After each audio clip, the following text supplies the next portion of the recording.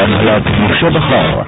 מוסיקה מכל הסגנונות בשילוב רעיונות ומפגשים עם אומנים, יוצרים, זמרים, מלחינים, מעבדים, כותבי שירה, סופרים ועוד.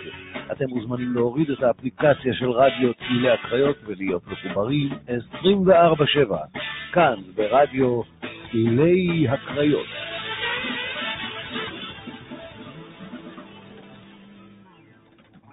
זה היה רחוק כרגיל, בחלון עוד עמדו טיפות, אותו לילה, כשאמר, כשאמרתי, והיינו קרובים להסכמה, אם כי רחוקים מאוד, כל השאר.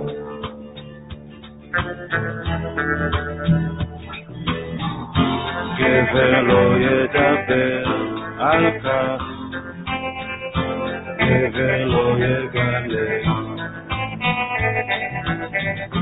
גבר לא ידבר על כך, גבר לא יגלה.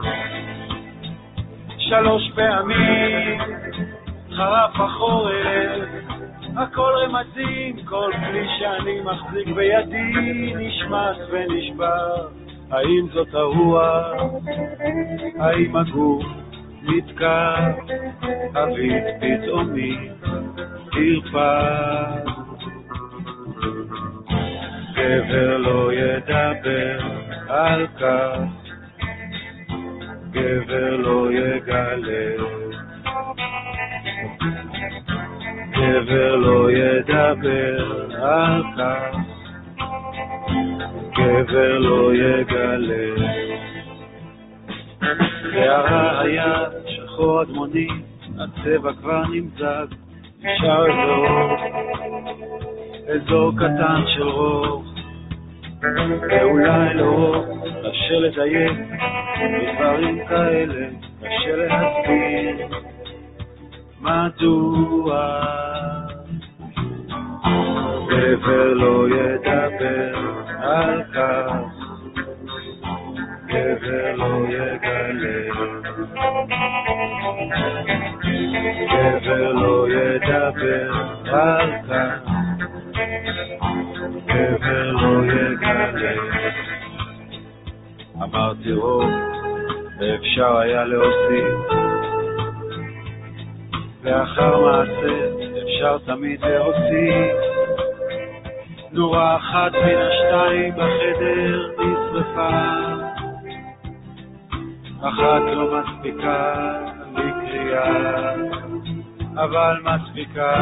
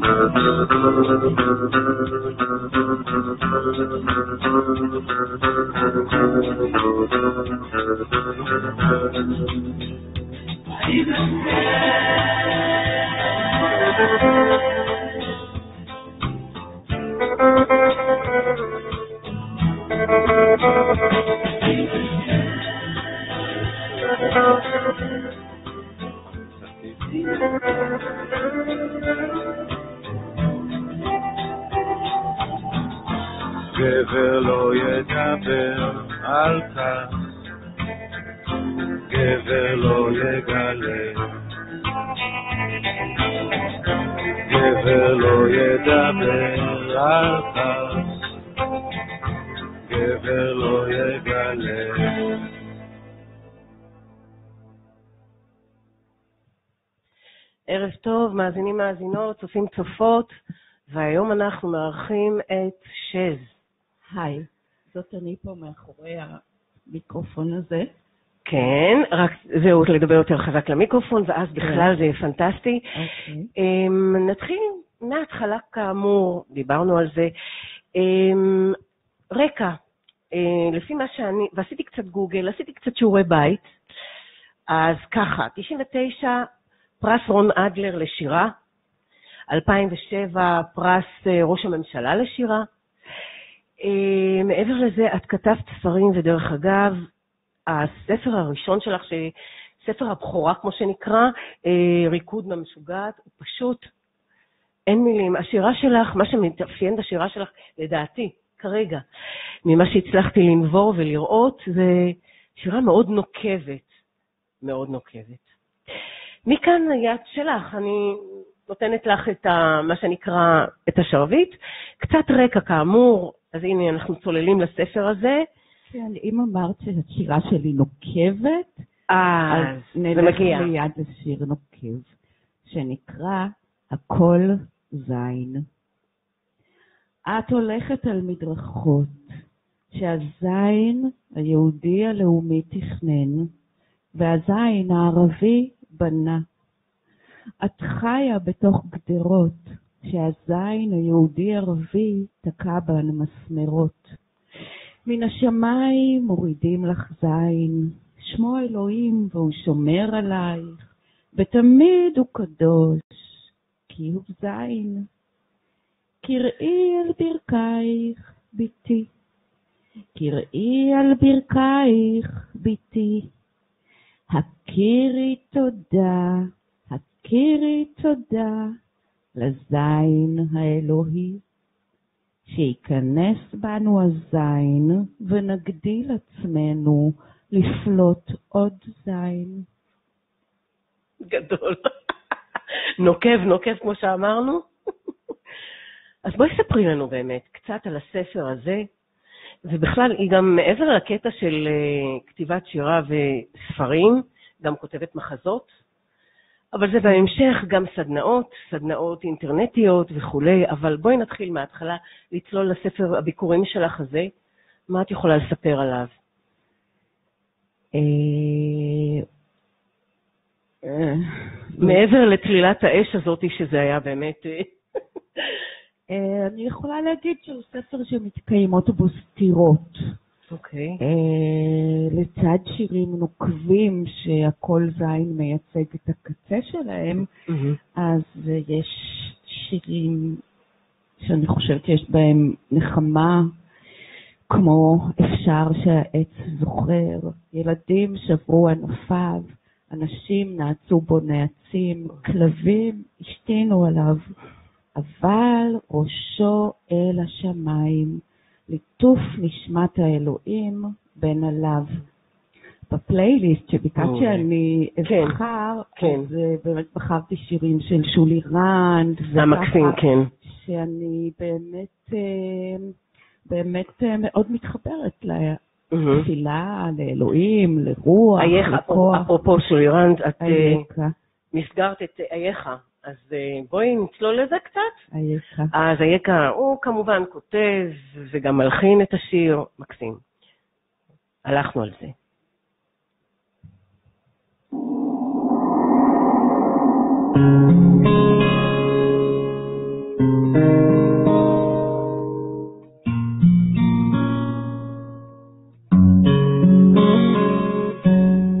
ריבונו של עולם, אם נדבר גלויות, לפעמים אין לי כוח בעולמך להיות. אנא מפניך אסתתר, מה אטען, מה אצטדק, מה אדבר. חנון ורחום אין לפניך גלוי, כאן יהודי שהלכות השערה הוא. נלחם בעצבות בייאוש המכרסם כתולעת, השמחה נסתלקה ממני וגם הדעת. קולות מהעבר לוחשים לי לעצור, אבל אני מוסיף בחושך לחתור, ושואל ומבקש איה, איה,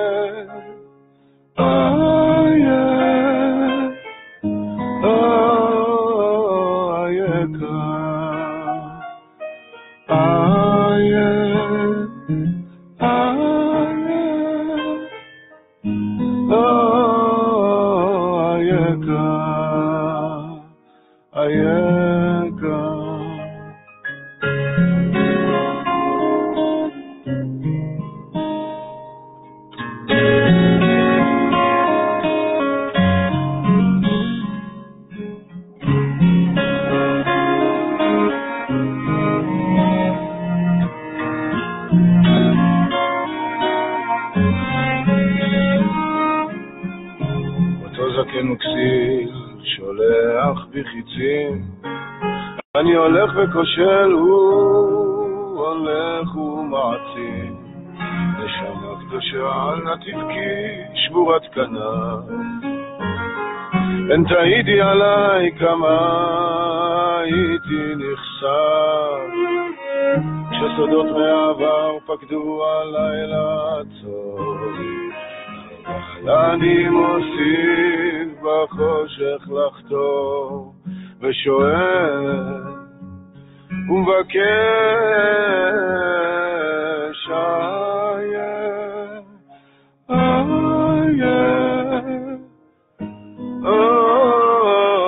איה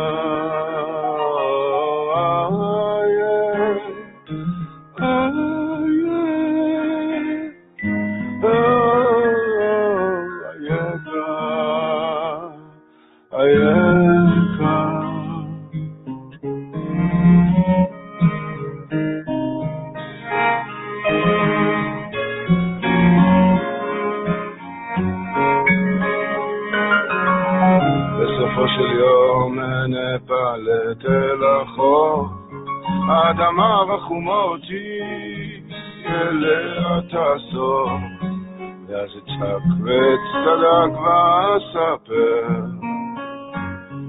איך בחושך הזה הייתי חותר, ושואל ומבקש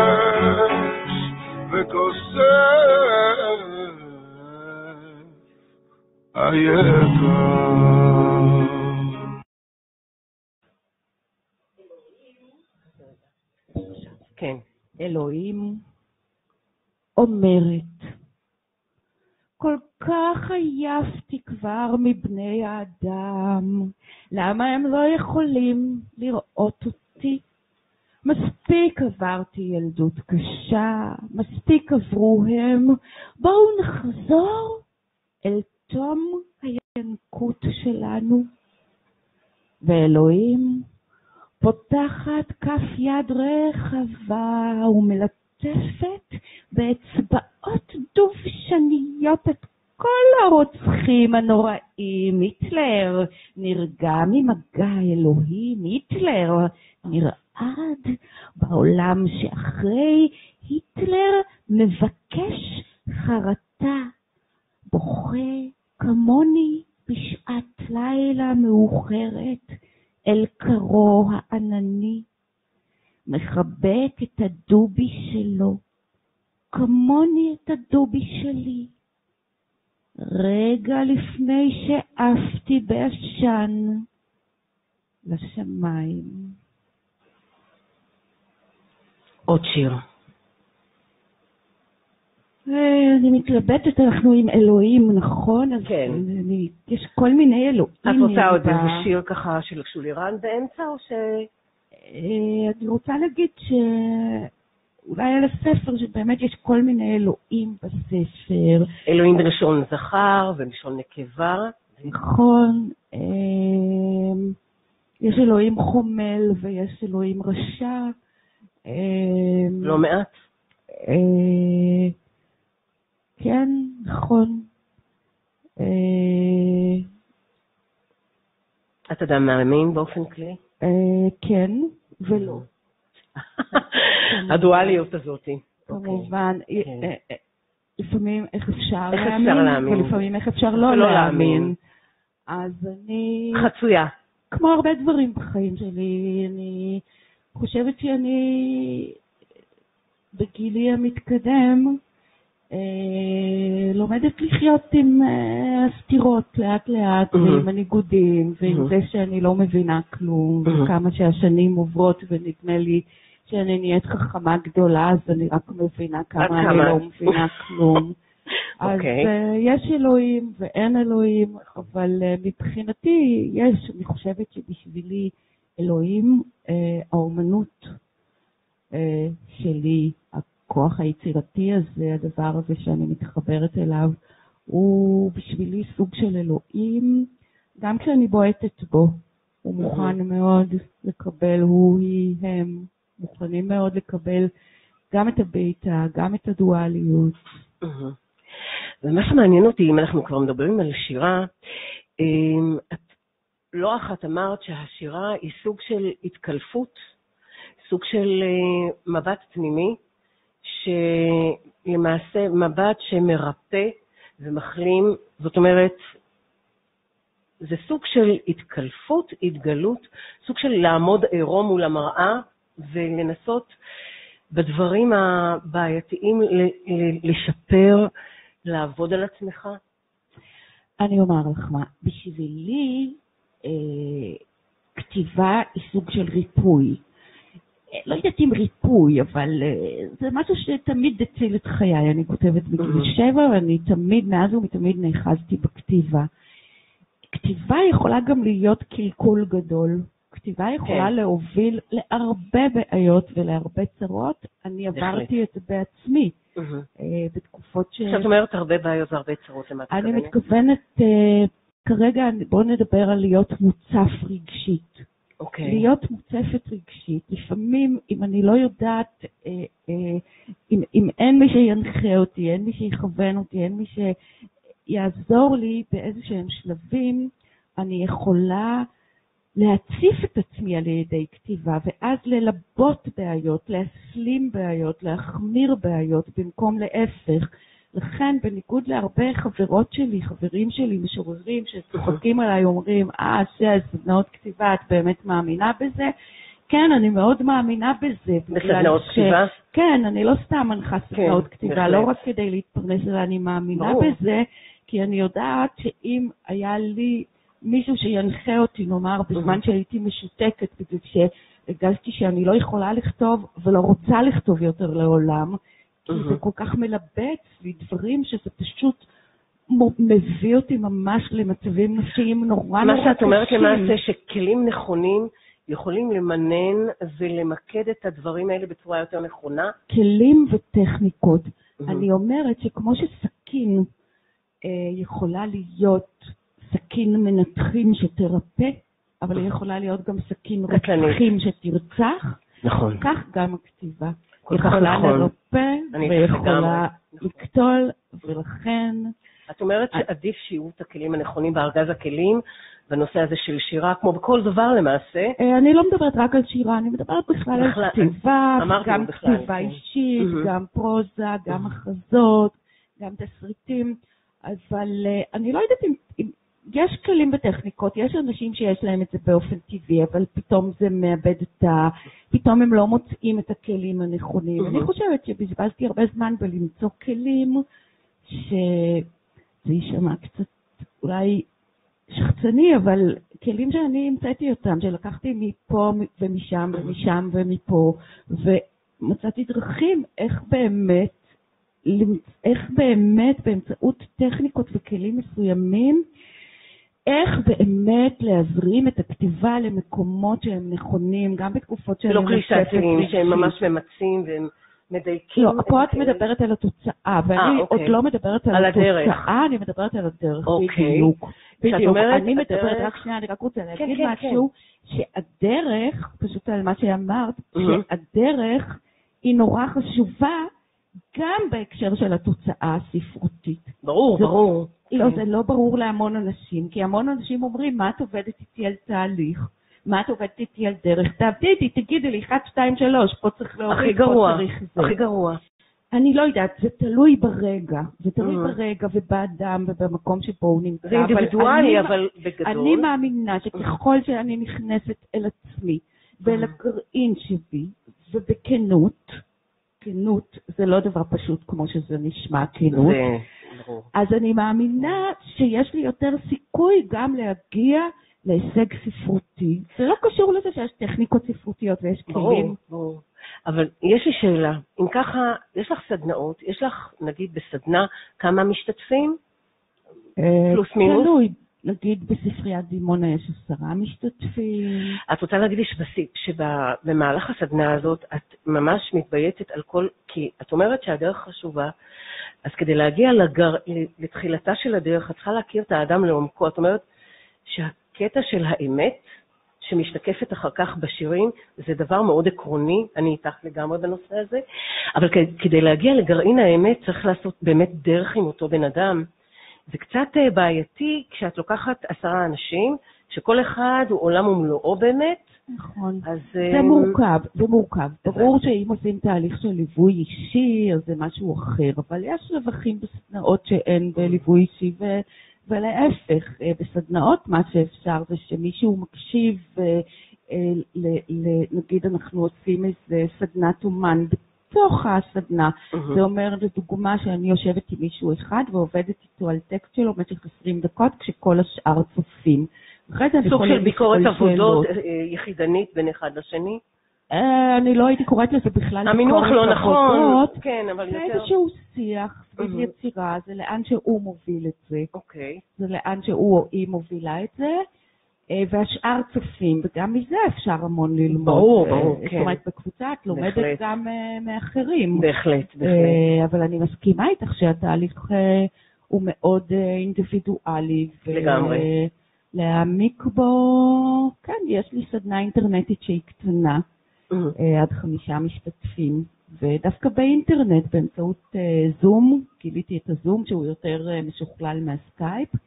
ואז ממש רואים את כולם אה, ומעבירים זה ב live. מין אינטרנט אה, ועידתי כזה, שרואים את כל כן, הקבוצה? כן, רואים את כולם זה ומנהלים. ב live את הסדנה, וזה גם מיועד לישראלים שנמצאים בחוץ לארץ, כי זה בשעות הלילה המאוחרות, וגם וואו, זה- אז לישראלים את פה רוצה להגיד שגם בארץ. ישראלים שהם בחו"ל מצטרפים לדבר הזה? כן, בעיקר. שזה גאוני, אוי, זה באמת כן, אחד הדברים הגאוניים, טוב לדעת. כן. זה נפלא.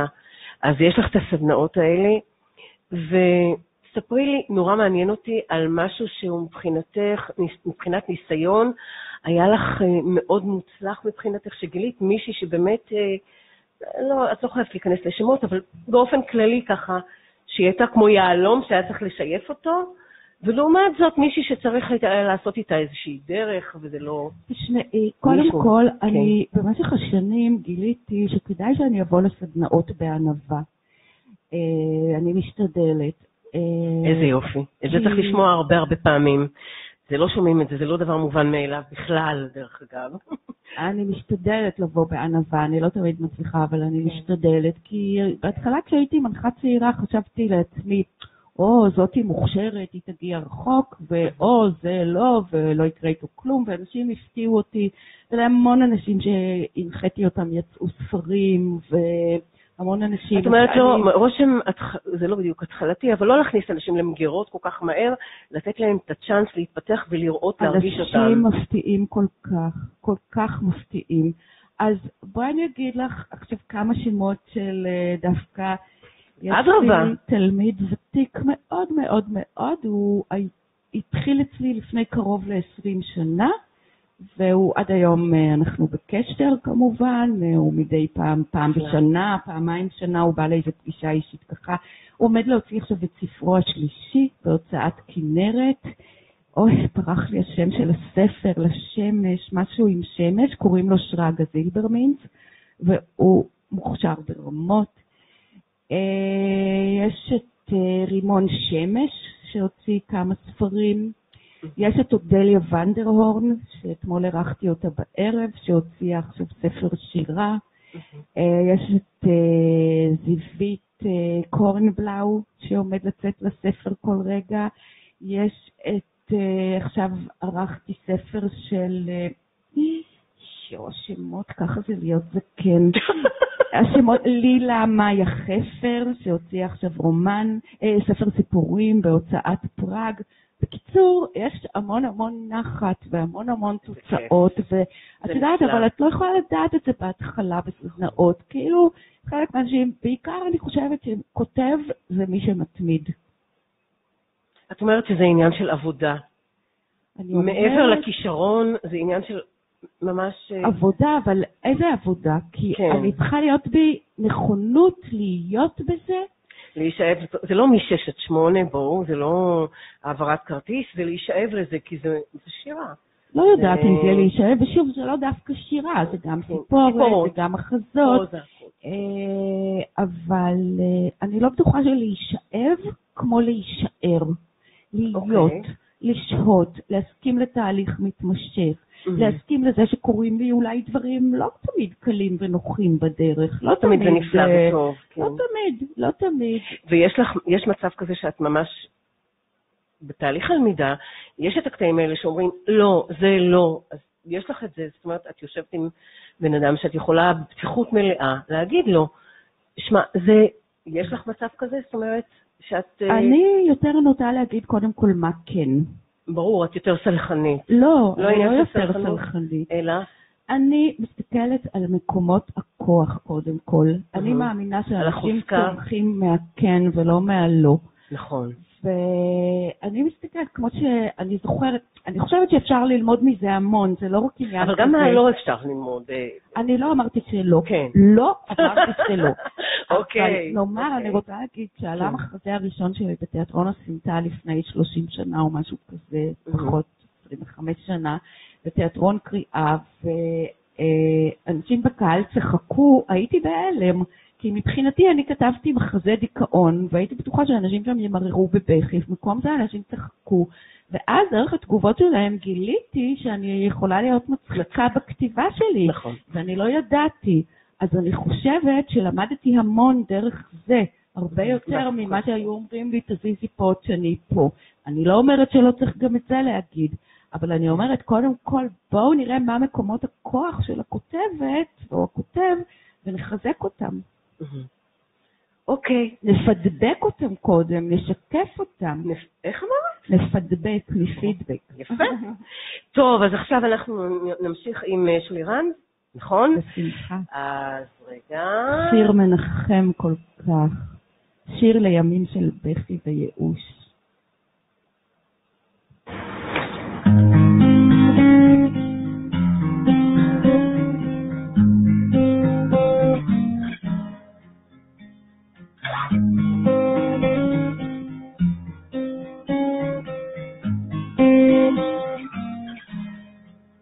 הם יספרו לך שמליבי נעקרת, ומעל שולחני גלית לאט. הם יזכירו לך דברים שהסתרת, עד שכל גופך מבושה ירעד. הם יעמדו היטב על כל טעויותיך, טיפשותך, חיבתך אל הרב. הם ינודו לך, זה היה בידיך, ועכשיו אינך דרך חזרה.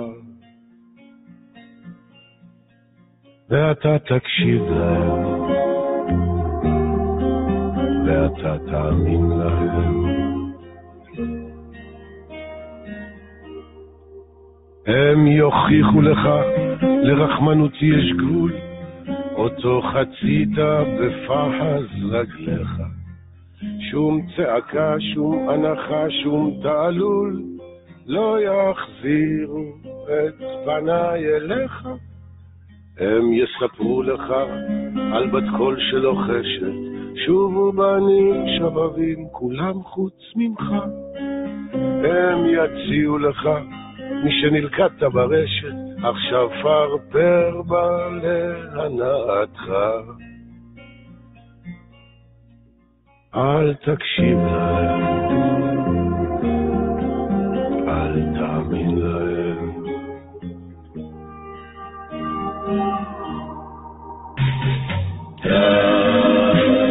תבלי אהובי, כי לא.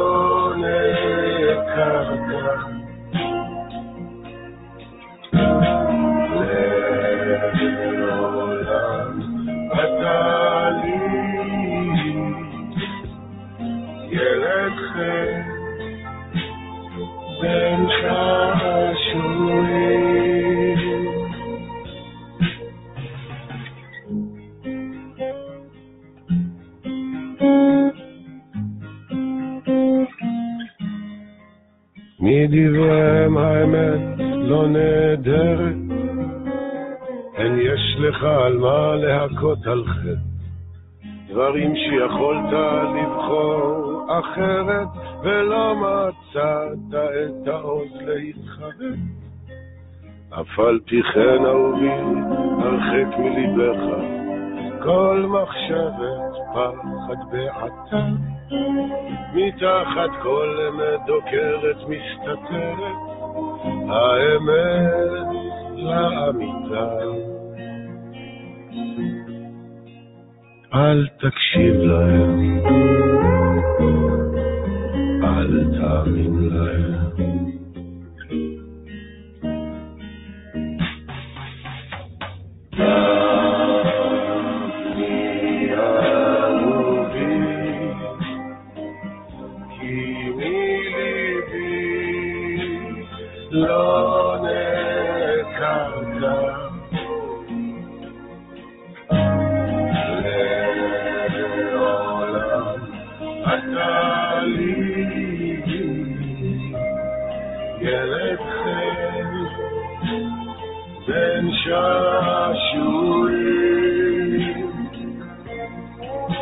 נכון שאני אוהב את הצדק, אבל למעלה מזאת אני אוהב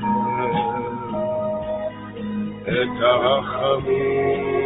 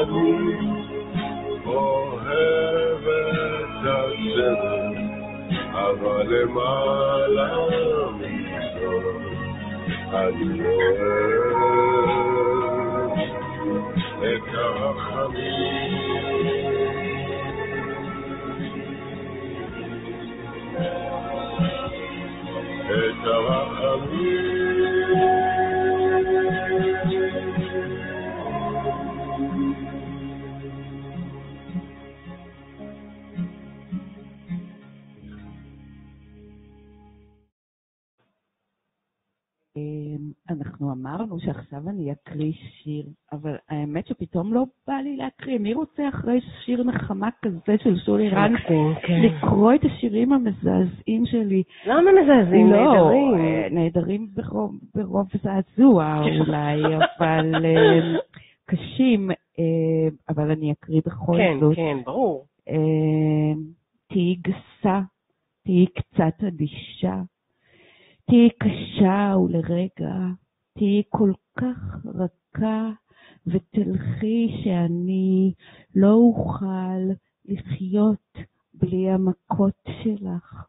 תבעטי בי, תצעקי עליי, תרקי, תקללי את היום שנולדתי, תקללי את אמי, תצחקי לזכרה, תקימי גל אשפה ליד קברה, צואת כלבים תגלגלי על מריצה, ותזייני אותי שם ברגליים פסוקות, שאבן המצבה קרה קרה, וחום השמש בכוס שלך.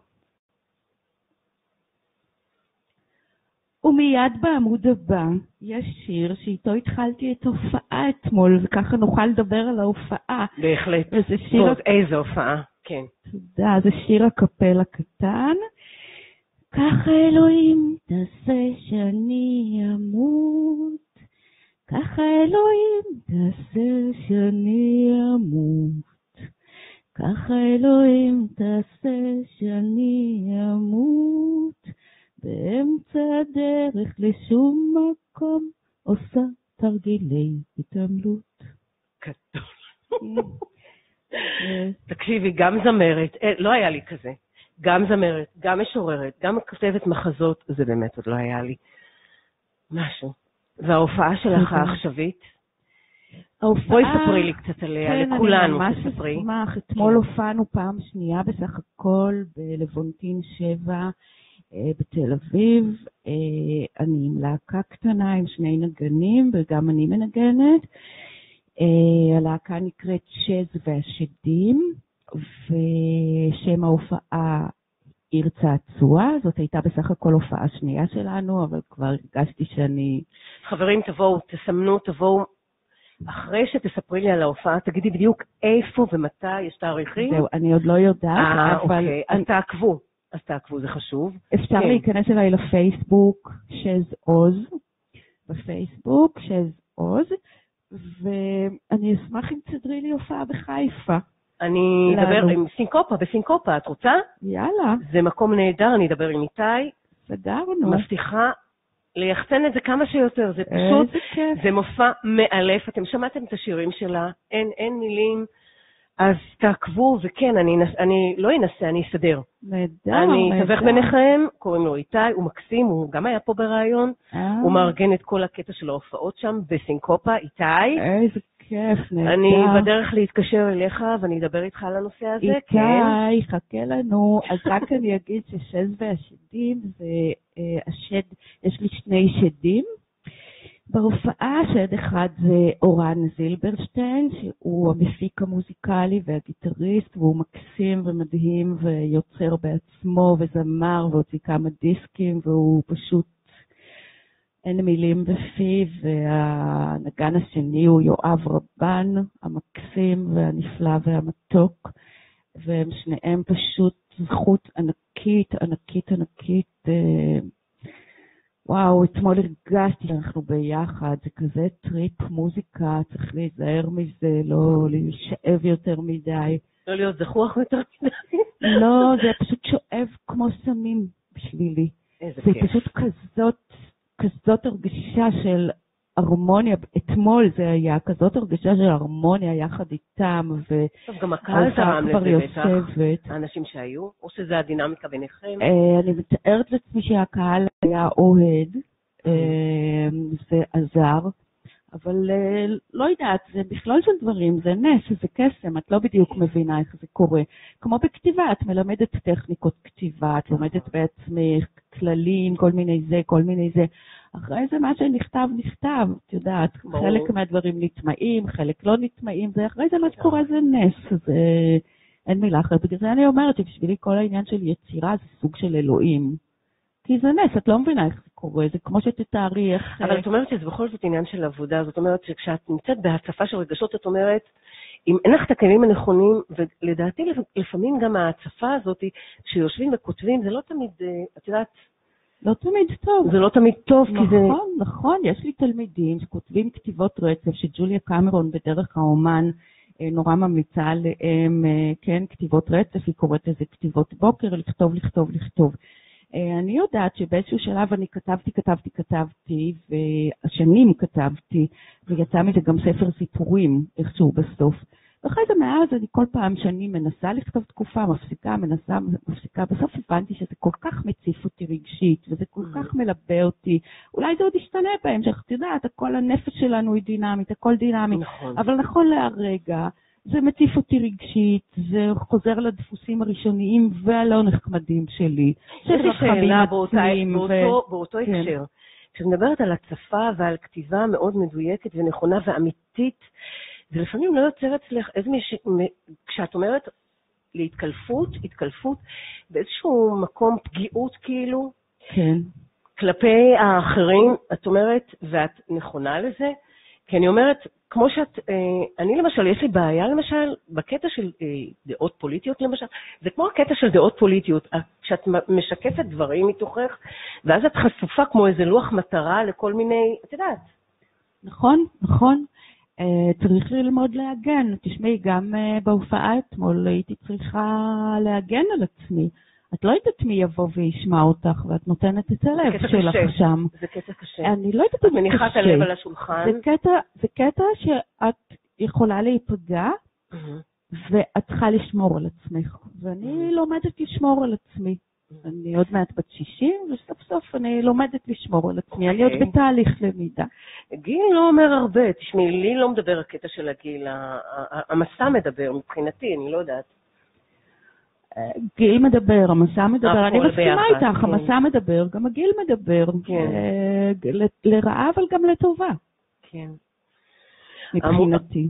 המודעות הזאת של הפגיעות והמגננות האלה שצריכים אה, כל הזמן... אה, אני אומרת, המגננות האלה זה לא המחיר שאת משלמת כדי שהקהל אולי יבין אותך בצורה מסוימת, זה לא ייגע בך בצורה לא נכונה. זה לא מגננות, זה לא? בדיוק מגננות, זה לשמור על עצמי, זה להגן על עצמי, זה לעשות קצת מדיטציה, אוקיי. זה להזכיר לעצמי שזה טוב ששאלת את זה, זה כן. להזכיר לעצמי שאני עושה את זה בשבילי, בלי. קשר לתוצאות, להזכיר את זה לעצמי שוב ושוב ושוב. לא ידעתי, אתמול זו הייתה הופעה שנייה, הודעתי לכל העולם שיגיע. אבל, אבל באיזשהו מקום אני אומרת, את לא מסוג אלה שאומרות, fuck off, או שיש לך מזה? כאילו, השירים מדברים בעד עצמם שזה כן, אני רק אומרת, את יודעת למה אני מתכוונת. לא. כשאת הולכת עם הדברים האלה עד הסוף, את, את, אה, את כן מודעת לנושא הזה, שאת כן רוצה שיבינו אותך, כן רוצה את האהבה של הקהל, בכל זאת. ברור, אני בכלל רוצה אהבה, ככה אוקיי. אני. אני הולכת אוקיי. ברחוב ורוצה שכולם יאהבו אותי. זאת אני, אני... אבל את לא מתנחמדת, בואי, את, יש לך את הדרך לא, שלך. תראי, אני בעיקרון רוצה שיאהבו אותי, אבל אני מוכנה גם, ובגלל זה אני צריכה לשמור על עצמי, אני מוכנה גם ומכינה את עצמי כל הזמן לזה שלא יאהבו אותי. אבל כן, אני צריכה לעשות עבודה של לאהוב את עצמי. כי אם אני אוהב את עצמי, אני אהיה מחוברת לעצמי, זה יכאב פחות כשלא יאהבו אותי. אז מה אני אגיד לך, אנשים, אין לי שליטה על אחרים, מה יש לנו שליטה על אחרים? לא. יש מי שיכול למות על השירים שלי, יש מי שיכול אה, להגיד, מה זה החרא הזה? כאילו, כן. והם שניהם יגידו את עצמם, אני מקבלת את שניהם, ברור שזה יכאב לי שמישהו יגיד מה החרא הזה, אבל זכותו להגיד מה החרא הזה, לא כל אחד חייב לאהוב אותי. ואת זה אני מבינה באופן הגיוני, אבל לא בחלק הפנימי הרגשי. כי בחלק הפנימי הרגשי הוא רוצה שיאהבו אותו. על כן זה מצריך עבודה שגם אותה אפשר לעשות באמצעות כתיבה. איך לטפח את עצמי, איך לאהוב את עצמי, איך, אה, איך לחזק את החלק הגרעיני שבי. כך שאני אהיה פחות אה, נזקקת, את יודעת. יש לי שאלה טריוויאלית, ממש אוקיי. טריוויאלית. אוקיי. אם אני הולכת אחורה ואני מגיל מאוד צעיר הייתי כותבת שירה, ואני... אבל הפסקתי, כי הקטע הזה של... הפסקתי, חזרתי לזה בשלב יותר מאוחר, יש לי כן. המון, יש לי דרך ענקית. את מדברת אבל- באמת עלייך. אני מדברת עליי. אוקיי.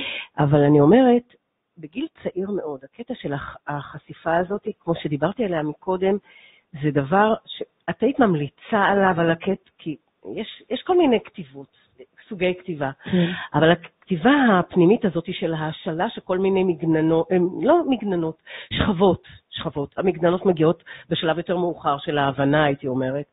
אבל הקטע של ההתפשטות הזאת בגיל כל כך צעיר, כשאת ניצבת כל כך בפגיעות המלאה שלך, אני מדברת על עצמי כרגע, אני כן. שואלת אותך, כן. פשוט מעניין אותי. מה את אומרת על הדברים האלה? מה, איך... את ממ- ממליצה לכתוב מגיל כל כך צעיר? זה, בעיית, זה קצת בעייתי, בסגנון הזה זה, זה קטע בעייתי. תראי, אני לא יכולה להמליץ המלצה כללית. אני כן, אבל יודעת שכתיבה. הצילה את חיי מגיל שבע, ומצילה את חיי, ונותנת לי עוגן להיאחז בו, ומגלה לי את עצמי, וחושפת לי חלקים שבי שאני לא מכירה, כל יום מחדש. כל יום מחדש. וזה פשוט מסע אל תוך הנפש. מה, לא יודעת בשביל מה. עצם זה שבגיל שלך, אנחנו חוזרים לגיל, אבל התכנים גם, עצם זה שבגיל שלך את מגלה כל יום דברים מחדש, זה דבר כזה נפלא, כי יש כאלה אנשים שבגיל כזה כל כך נעולים ב, בדברים של עצמם, שזה לא, לא, לא עניין של סליחות, אני מדברת התנהלות פנימית, כן. שהקטע הזה של לספוג דברים אחרים הוא קצת בעייתי להם, אז כשאני שומעת את הדבר הזה, זה סוג של דבר מרענן ואני אוהבת אותו, אני... תודה. אני, אני מגלה בתוך עצמי, אני מתכוונת. הבנתי, הבנתי. כאילו, או בתוך הדבר שנקרא אבל- לו, אני אומרת בהסתייגות, אלוהות. כן. אבל אני אוקיי. פשוט, אני רוצה לחזור למה שפשוט שאלת שאלה קודם, בהחלט. ואת אמרת, אה, האם זה טוב לכתוב בגיל צעיר דברים... כשאני מדברת על הזרם הזה של הכתיבה, על ה... את מדברת על כתיבות רצף, כתיבה אינטואיטיבית. אינטואיטיבית. אני לא מבינה למה לא, אם יש גורם מאזן. זאת אומרת, כן. אני, מאמינה, וככה אני אומרת תמיד לתלמידים שלי, כל אחד חייב להתחבר לעצמו. מהמם. את חייבת, חייבת. אני, מה שאני מציעה זה שתהיי מחוברת לעצמך, תכתבי קצת, עושה לך טוב או עושה לך לא טוב. נכון. תראי, אני מנחה סדנה בבית אמיתי. בית אמיתי הוא בית לנערות. אה, ולנשים צעירות, זה מגיל 15 נדמה לי, עד גיל 28, אה, שעברו פגיעה מינית מתמשכת.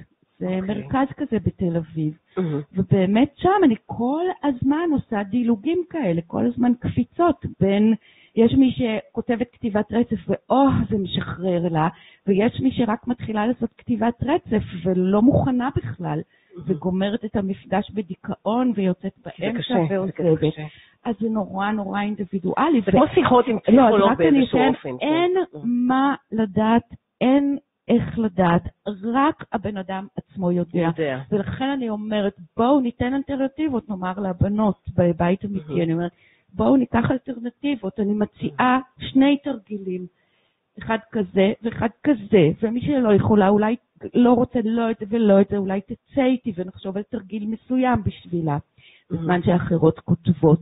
זה כל כך אינדיבידואלי, קשה לענות על זה. הסוג של העבודה אבל רק אני אגיד כן. משפט אחרון, אוקיי. שאני מסכימה איתך לגמרי, מהמם. ונדמה לי שזה מה שאת מנסה להגיד, שצריך לחתור לאיזון. לגמרי. שכתיבה יכולה להוריד מהבלנס, נכון. ושצריך לחתור לאיזון, ושוב, בגלל זה עם כל החוסר צניעות שלי, אני חושבת שמלווה אישי בכתיבה, תמיד. מנחה סדנאות בהחלט. כתיבה, שהוא נכון ומרגיש, אני חושבת שזה דבר אה, שיכול להיות יעיל. מעולה. טוב, אנחנו עושים עוד. הזמן רץ. וואו, הזמן ממש רץ. מעניין, מעניין לגמרי.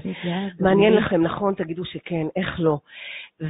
הם יכולים לכתוב דרך אגב? ברור, חברים, תכתבו. אה, אז תכתבו. תכתבו לנו. תכתבו לנו, מעניין, אנחנו נענה לכם, מבטיחה. ולא, רק שלא רק זה, גם אה, צביה, שישאלו אם יש להם שאלות. בהחלט, בהחלט. זה הזמן. תשאלו אותנו. תשאלו, אנחנו נענה לכם, מבטיחות. אמ, לאיזה שיר אנחנו הולכות עכשיו?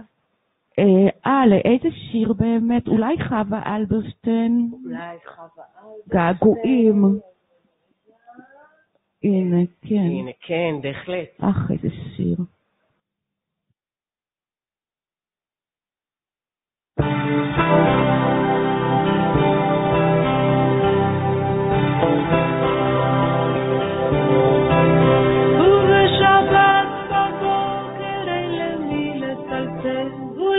איך עברה ההופעה. ואבא לא שואל היה קהל, ואמא לא אומרת את נשמעת עייפה. וכשכותבים אליי איזו מילה רעה, אני עדיין חרדה.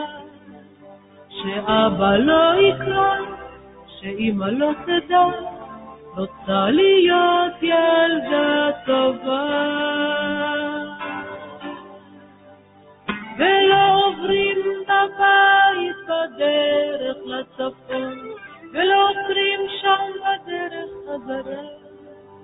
והמרפסת שממנה נופפו לי לשלום, תלויה כמו עריסה ריקה. וכשכותבים עליי איזו מילה טובה, אני עדיין מקווה שאבא כבר שמע שאמא מתגאה, רוצה להיות ילדה טובה. אני לא בוכה, רק מתגעגעת.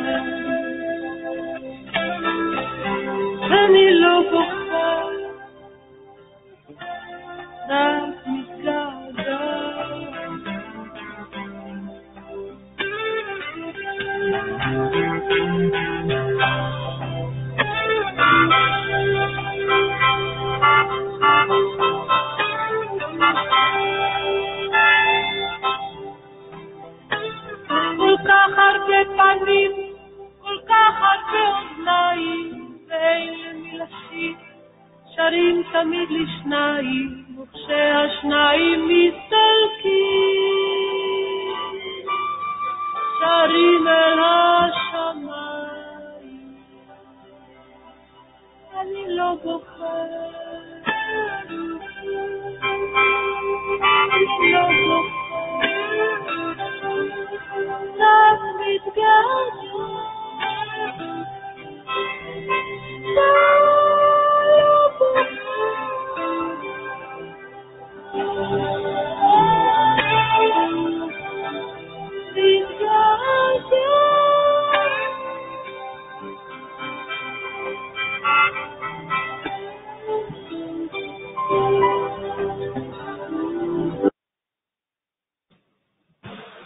אנחנו חוזרים, ו... את רצית לספר על אימא שלה? רציתי לספר על אימא שלי. חווה אלברשטיין זה אימא שלי. אימא שלי שנפטרה לפני שנה, היא מאוד אהבה את חווה אלברשטיין. זה היה חלקת האלוהים שלי ושלה ושל אחותי. אה, היינו שומעים אותה, והשיר הזה בעיקר, השיר הזה געגועים, כל כך אה, ככה הציף לי אותה, ואני זוכרת שהלכנו להופעה שלה, וכן, אין, אין, אין, אין מילים, יש דברים בחיים שפתאום מפילים לך את כל הזיכרונות כן. בצורה כל כך מוחשית וכבדה, אפשר לשאול אותך שאלה אישית? תמיד, רק שאני לא אבכה. אוקיי. אה, יש פה טישוז. את, אה, היה לך קשר טוב עם אימא שלך? מעולה. מעולה. אימא שלי הייתה אחת האנשים היותר, אימא, חברה, הכל בכל מכל, באמת. כן. אז אני אגיד לך מה הזווית שלי שאני מתייחסת לשיר הזה, שאני מתייחסת, שאני מרגישה כלפי השיר הזה. תמיד. אני מרגישה כאילו אני מתחזה, כשאני מזדהה עם זה, כאילו אני מתחזה. ואני משחקת כאילו יש לי אימא כזאת ואבא כזה שמחכים לי ודואגים לי ושומרים עליי. כי אני ועוד הרבה אנשים בעולם לא היה להם, לא זכו לדבר הזה שהיה לך ולחווה אלברשטיין, שהיה להם אה, באמת... אה, את חומת המגן המשפחתית הזאת. כן, כן. אז אה, אני אקרא שיר שלי שמתכתב באיזשהו אופן, גם עם הסיפור שאת סיפרת על אימא שלך וגם עם השיר של חווה אלברשטיין, והשיר נקרא פרידה. זה שיר שאני מתה עליו. מאוד אוהבת אותו. כן. אולי יהיה איזה פרח שייתן עכשיו שאת קוברת וקוברת וזה לא נגמר, ויודעת, פרח לא יספיק. ערימות של פרחים, שדות על שדות, כל הפרחים שבעולם, געגועים. להתגעגע ליד שמצליפה, להתגעגע לריח שלו כשהוא מאמץ אותי נגד רצוני אל גופו. גופו שהוא גופי, גופי שהוא גופו. אמי שהיא אשתו, אשתו שהיא אהובתי, הוריי שהם שונאיי, שונאיי שהם היחידים שמוכרים לי. רק את הריח שלהם אני רוצה, רק לליטוף הזה שלא בא, אף פעם לא בא, אני משתוקקת כל הימים האלה. שאני קוברת ואומרת שאולי בכל זאת די יהיה בפרח, אם אמצא לפחות פרח אחד.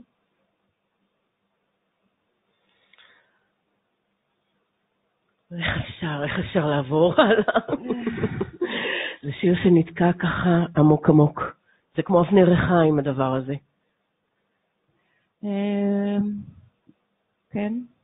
אני דווקא חושבת, כן, זאת אומרת, אני מבינה, לך זה כמו אבני ריחיים, ויש אנשים שבשבילם זה דווקא משחרר כן. מהצורך לצ- לשאת את הפאסון כן. לתת את הפאסון של אצלי הכל בסדר. כי מה, מה קורה? בואי נדבר שנייה על תיאטרון, על מחזות. הייתי, ב, למדתי אצל יוסי יזרעאלי, והוא פתח הרצאה אחת שלו בזה שאתה בא לתיאטרון, והתיאטרון שואל, שואל אותך מה שלומך, ואתה אומר בסדר, והתיאטרון אומר לך לא נכון, אתה לא בסדר. זה תפקיד התיאטרון. תפקיד התיאטרון להגיד לך, אתה לא בסדר. ואחרי שככה שמעתי את יוסי יזרעאלי, אז אני הבנתי שגם השירים שלי, בעצם מה הם עושים? הם חושפים גם פסדות ופסונים מעל אנשים. זה סוג, של מפתח שפותח את uh, קופת ה... הכל. מותר להגיד כן. לא בסדר, מהמם. מותר להוריד את הפסון, מותר להפסיק להתהלך בעולם כאילו הכל בסדר והכל אצלי בסדר ואיזה אגו כזה וכאילו אני יודעת שאני אומרת ולא מיישמת את זה בעצמי תמיד, כן? כי לא תמיד אפשר ליישם בחיים ברור. ולא תמיד את רוצה ולא תמיד את רוצה ללכת חשופה. לא תמיד את רוצה שהדלת של הבית שלך תהיה פתוחה לעיני כל וחדר השינה גם. בדיוק, זה בדיוק. בעייתי. אבל אני זה אומרת. נאמר סדנאות כתיבה, זה המקום להגיד אני לא בסדר, וזה אחלה, זה הבסדר בסדנאות כתיבה, זה הבסדר באומנות. מה שרציתי, באמת, אני חוזרת למה- לחלק של השיחה מקודם, כן. על הקטע של סדנאות שירה, זה לא בא להחליף פסיכולוג, אבל, כאילו, באיזשהו אופן. את מתכוונת להגיד שפסיכולוג בא להחליף סדנאות כתיבה. אני צוחקת. כן. ברור שאת צוחקת. כן, או שאני לא צוחקת. כן. אולי אני לא צוחקת. תשמעי, לי יש, אני הייתי הרבה שנים בטיפולים, יש לי דעות. מאוד מעורבות ולא מוצלחות במיוחד לגבי טיפולים. לא שקיבלתי שם דברים, אבל. גם אבל גם לא. הייתה.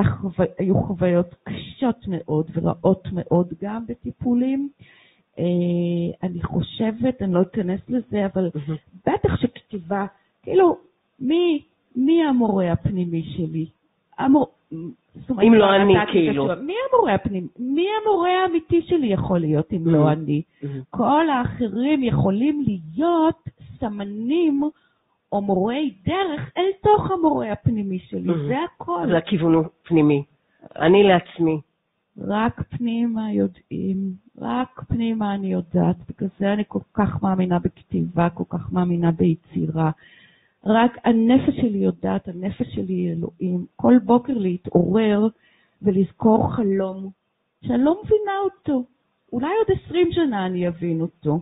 כמו שכתבתי שיר שלפעמים אני לא מבינה, רק אחרי עשרים שנה אני מבינה אותו. זה, מה זה התת הכרה הזה? זה פשוט אלוהים.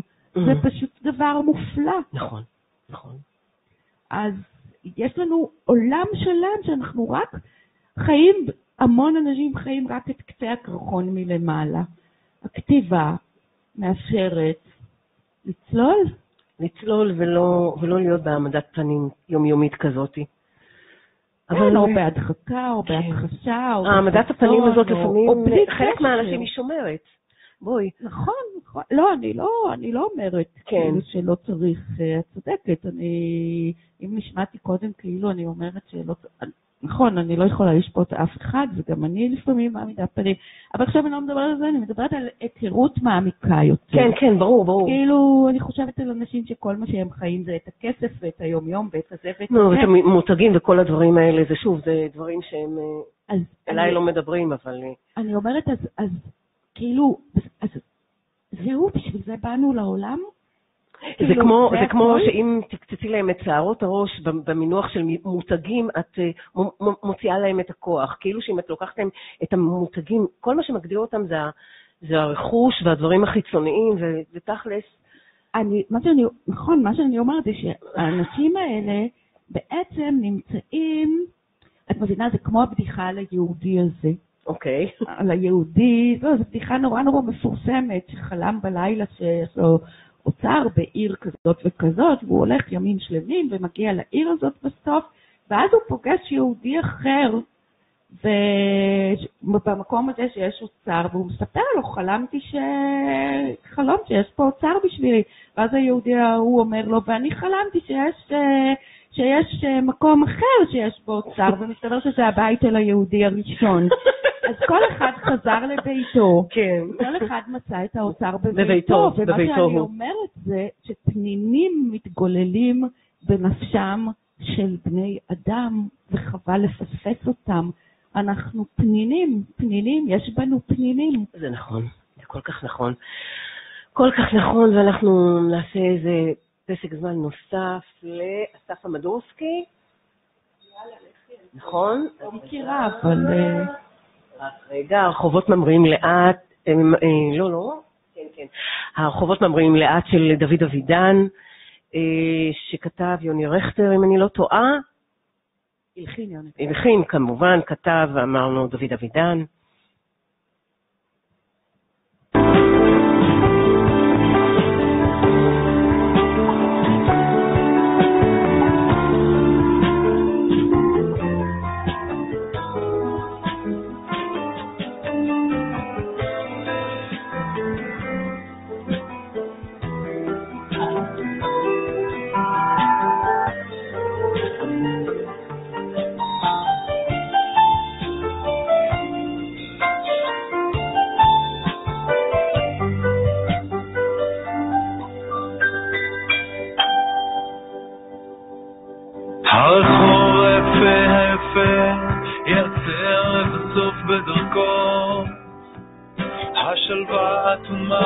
וקשה תחתך כמו חלל לאורכו והבוקר הלך התפחר מברק יחידי מברקו אנשים התנשמו בכבדות, כמו בתום דהרה עתיקה. חגורת הבטון של העיר, הדוקה, בהחלט הדוקה. הקירות הכבדים מבינים משהו, ונופלים בשתיקה. העיר הגוססת בחוץ, צונח אור שמש מוחלט. ביום שכזה מן הסתם בבתים שום תינוק לא נולד. אף מת שום אדם ואחרי הרחובות ממריאים לאט. הרחובות ממריאים לאט.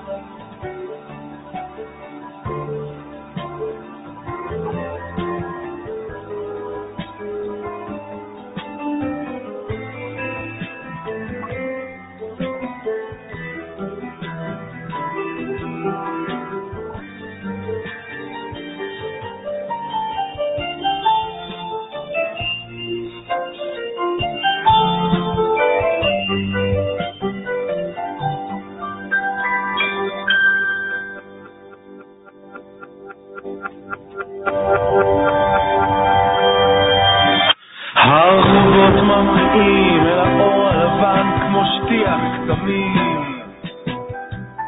הקירות שנפלו מוקמים איכשהו, אזרחים חכמים.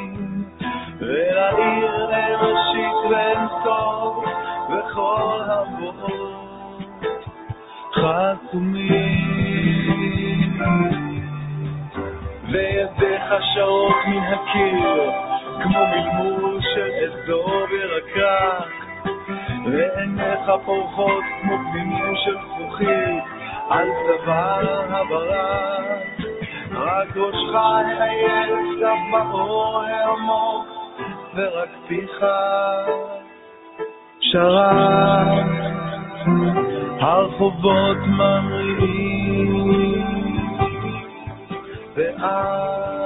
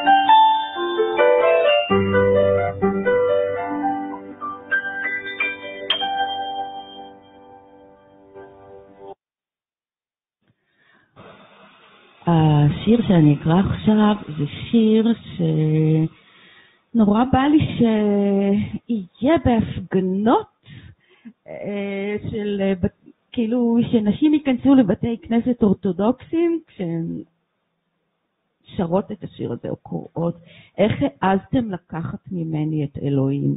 אני חושבת על זה כל פעם שאני עוברת ליד הבית שלי, אני גרה 17 שנה באותו מקום, ליד הבית שלי יש בית כנסת אורתודוקסי, ואני לא יכולה להיכנס לשם.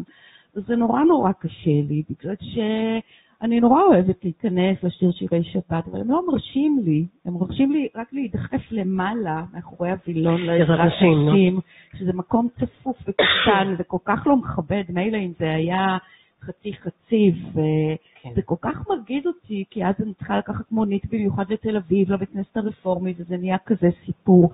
שלפעמים אני מפנטזת שעושים שם הפגנה עם השיר הזה שאני אקרא עכשיו.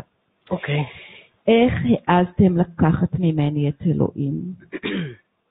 אלוהים נמצאת בתוכי.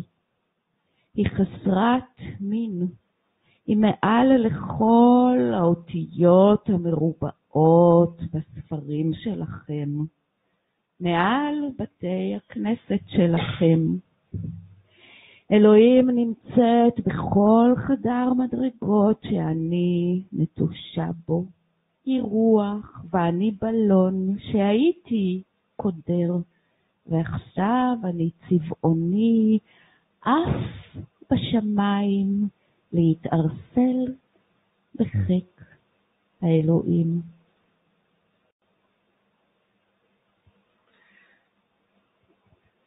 את באה להפגנה. אני? לאיזה בדיוק? להפגנה. אז כן.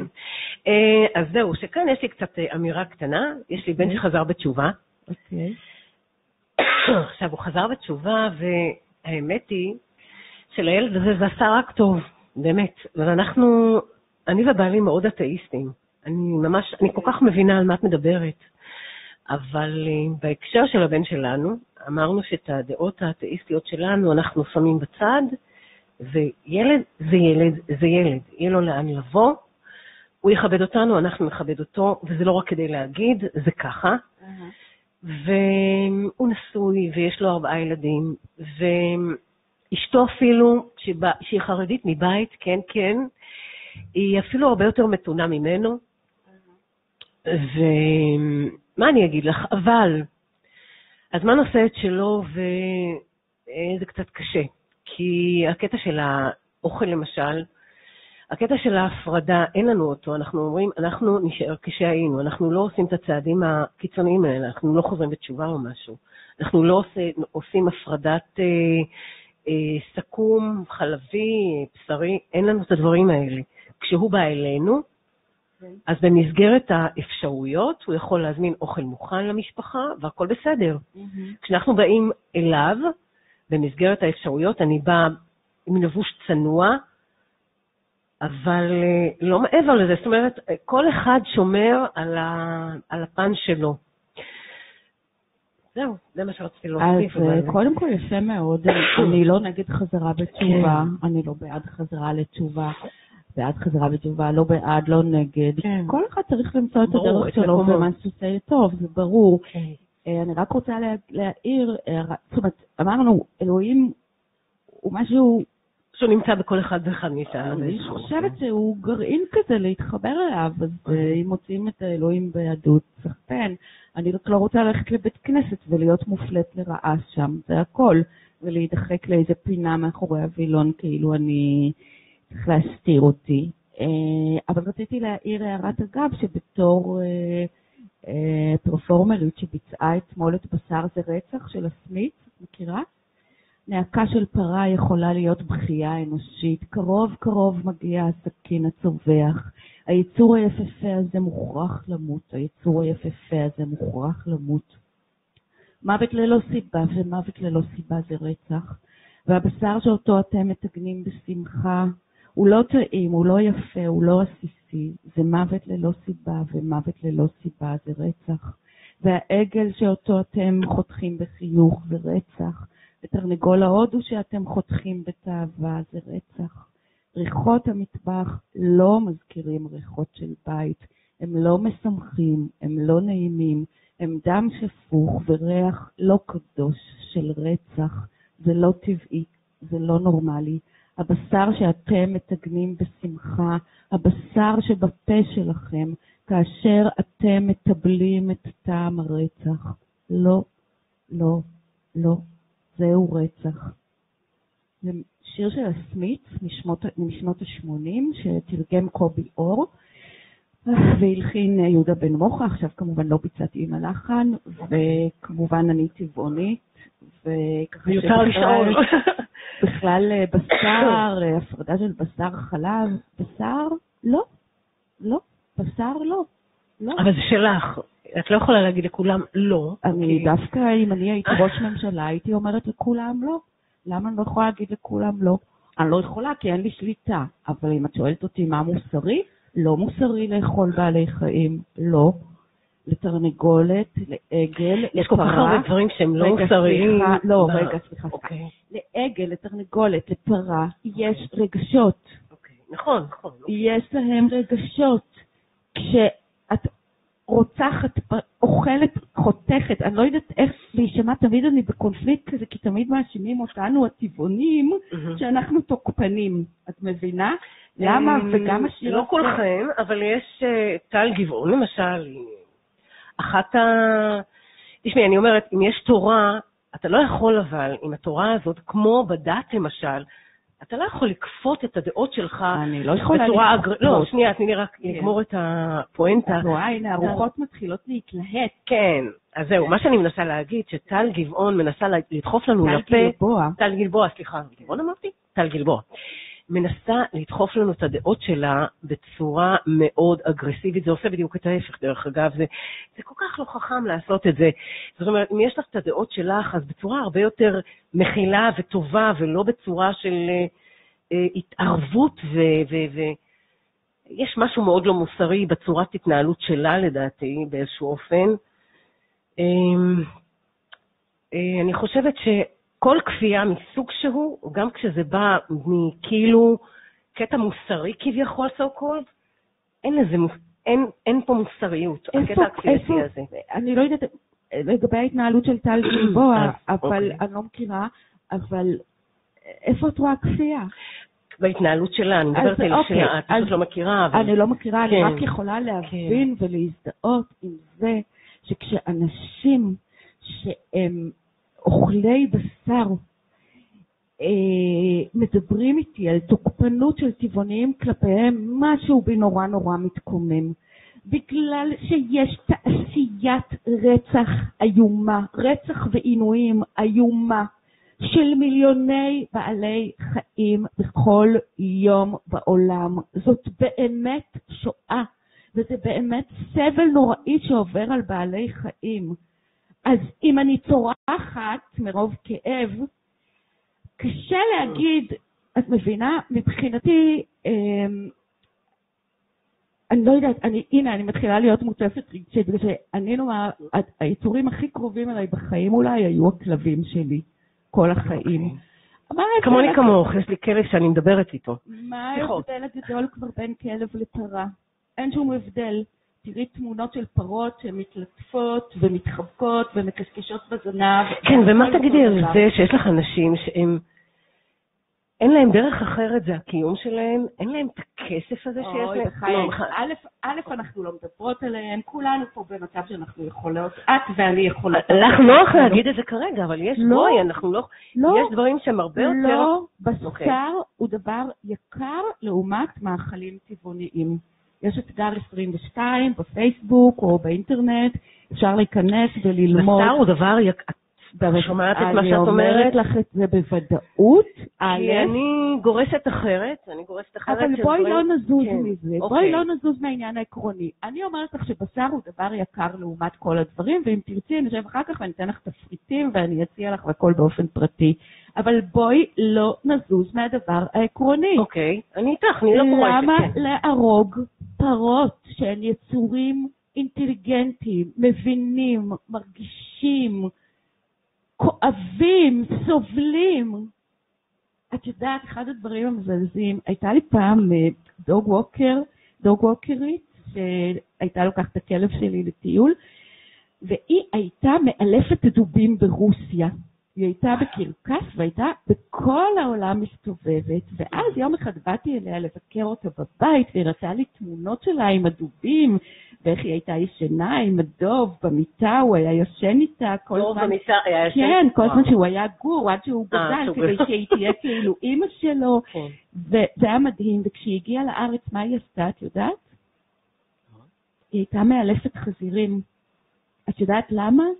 כי לחזירים יש תכונות מדהימות של הערכה, להריח, הם מריחים יותר טוב מכלבים, הם אנושיים, רגישים, מרגישים וידידותיים. חזיר, זה שאנחנו אומרים בייחס. אז אני אומרת פה, קצת לפתוח את הראש וטיפה לחשוב על הסבל שאנחנו גורמים לאחרים, ואיפה בטיפת מאמץ ובטיפת מחשבה באמת, ועכשיו אני נכנסתי גם לקטע שאני לא אוהבת, כי אני נראית כל כך מוסרית וזה, יש דברים שאני לא כל כך מוסרית. אז כן, בואו נעצור פה, אה, ונלך לעוד המדורסקי אחד. אבל המדור, המדורסקי, שזה בהפוך על הפוך, זה בלעד על האישה שכתבה תרצה אתר, וזה לחן שלו. דרך אגב, השיר הקודם גם היה לחן שלו, למען האמת. זה...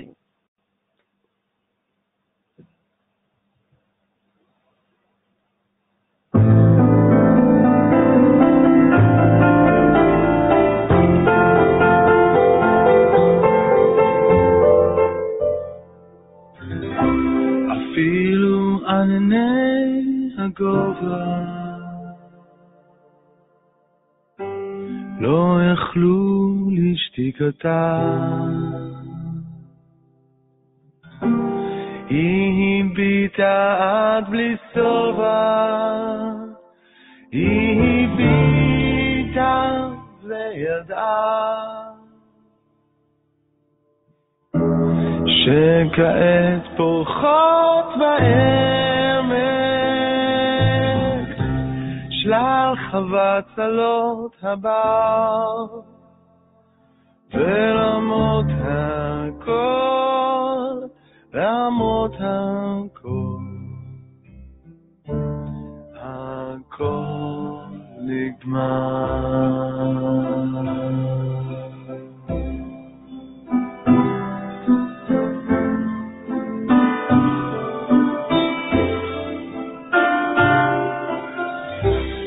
אפילו ענני אוקטובר. הסגולים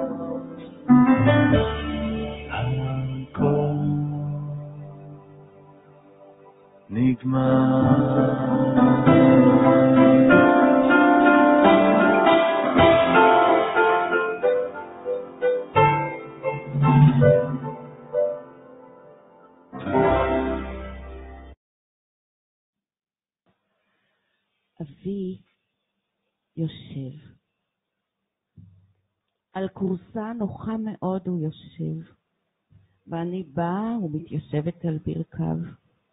נו, מוישרה, אני אומרת, מה נאכל לארוחת ערב? אבי מגחך. ברכות הוא מסיט את שערי מעיניי ונושק לי על מצחי. מה בא לך? הוא שואל בקול מלא חיבה. היום נהיה רוחניים ומוסריים, אני אומרת בקול מהורהר. נאכל ירקות ושקדים. פופ, אבי מעוות את פניו בסלידה ודוחף אותי לקום מברכיו. ירקות ושקדים לארוחת ערב? הוא תוקע בי מבט נבחל. מה רע בירקות ושקדים, אני אומרת? שום רע, אבי אומר, אבל זאת לא ארוחת ערב. למה? אני אומרת. כשהייתי בת 16 הייתי טבעונית, אתה זוכר? זה היה נעים, זה היה מנקה, הגוף נפטר מרעלים, ימים שלמים טעמתי אז. אני נזכרת בערגה. משוגעת, הוא אומר. אני מוסיפה מילים להגנת הטבעונות, להגנת התשומות, להגנת ההתנקות מרעלים. כן, כן, כבר שמענו עלייך, הוא אומר בזלזול. אני הולכת לחדר האמבטיה לבכות. הוא בא אחריי ומבקש את סליחתי. זה כמו בימים ההם, אני אומרת בעיניים דומעות, אתה מתנהג איתי כמו אז. נכון, את צודקת, אבי אומר. לכן ביקשתי סליחה, הוא מוסיף. לא תעשה את זה שוב? אני שואלת. אני אשתדל, אבי עונה. כף ידו השחומה שלוחה אליי. כף היד האחת והיחידה בעולם כולו השלוחה עליי. אני מניחה עליה ברפיון את כפי הצחורה. כף ידו השחומה אוחזת בכף ידי הצחורה בכוח. הוא מושך אותי אליו. אנחנו מתחבקים. נו, סלחת כבר לזקן שלך? הוא אומר כשהוא מאמץ אותי אל ליבו. שדיי נלחצות אל חזהו. אני חשת את האיבר הרך נלחץ אל שיפולי בטני. אנחנו מתנשקים.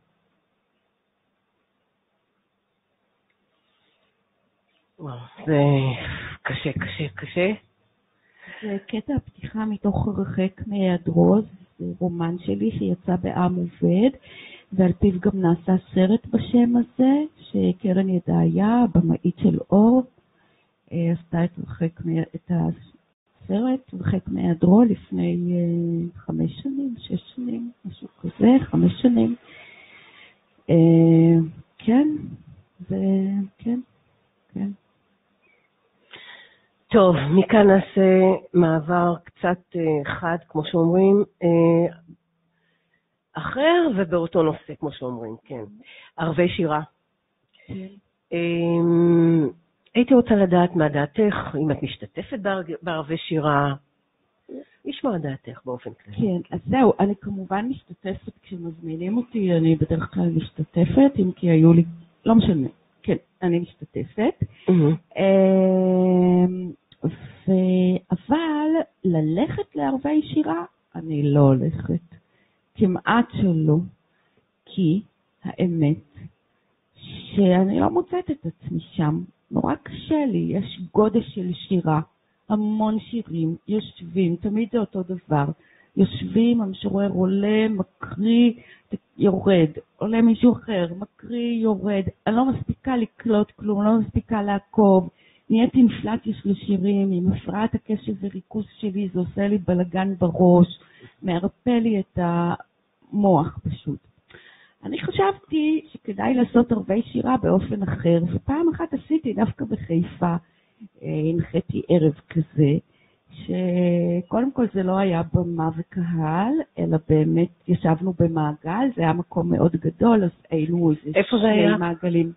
זהו, אני לא זוכרת. אוקיי, לא, זה לא עקרוני האמת. אני כן. לא זוכרת. אבל זה אה, רעיון מגניב לגמרי, שזה כאילו בלי כל הקטע הבימתי. הזה. והמשוררים שקראו אוקיי. היו מחולקים בין הקהל, היו מפוזרים בתוך הקהל, איזה יופי. והמיקרופון עבר, וכל משורר גם קרא יותר מפעם אחת, וגם. חילקנו חלק מהטקסטים לקהל, וגם הקהל התערב, ונתנו לו לשאול שאלות. תרתי משמע. כן, סוג של. כן, סוג Mm. של, אה, גם קראו את הטקסט, גם ביקשתי, נאמר, משורר לקרוא פעמיים את הטקסט, או אמרתי לו, תבחר מישהו מהקהל שיקרא עוד פעם את הטקסט, שזה נכון, זה דברים שאנחנו עושים גם בסדנת כתיבה. לטעום, לטעום את המילים, להתחבר אליהם, להתיידד איתם, ולא להעיף אותם מהר ברוח. והקהל שאל להרגיש את המילים. להרגיש את השיר. כן, הוא אמר איזה משורר אחד, אה, אמר, לא יודע, מי רוצה בקהל לקרוא? אז זה שני אנשים שונים אצלי, שניהם קראו את השיר כל אחד אחרת.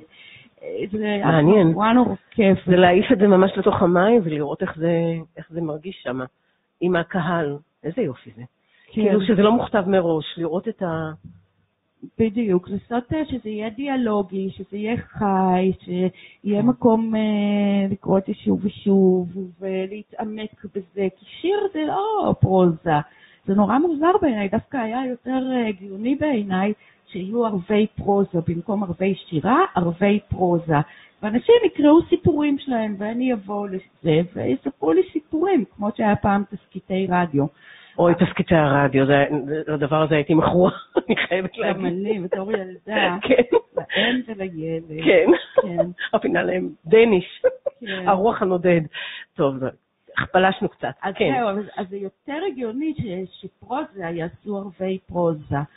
אה, פחות הגיוני בעיניי שעושים ערבי שירה, כי שירה זה משהו של לטעום כל מילה, להרגיש, לראות, להתוודע, להתיידד, להעמיק. זה לא משהו של... זה לא מתכון שהולכים איתו בצורה מתוקצבת. ממש לא, ממש לא. יש אה, משפט שאומר מה ההבדל בין אה, שירה, בין פרוזה לשירה. פרוזה היא המילים במיטב סדרן, דברי יותר חזק למיקרופון, זה חשוב, את אומרת אוקיי. דברים כל כך חשובים. אה, פרוזה היא המילים במיטב סדרן, זאת אומרת במיטב הסדר שלהן, ולעומת זאת שירה היא מיטב המילים במיטב סדרן. זאת אומרת, אם פרוזה היא מיטב המילים במיטב סדרן, אז שירה היא מיטב המילים במיטב סדרן. זה דבר והיפוכו, כאילו, זאת אומרת, באיזשהו אופן. זה לא דבר והיפוכו, זה רק אומר שאם בפרוזה אני רוצה לקחת את, ה, את המילים, אה, המילים שיהיו במיטב סדרן, אז בשירה אני הולכת עוד צעד אחד ובוחרת את מיטב המילים במיטב סדרן. מלקטת אותם בצורה מאוד... הן צריכות, כל מילה היא בעלת משמעות אדירה בשירה המודרנית.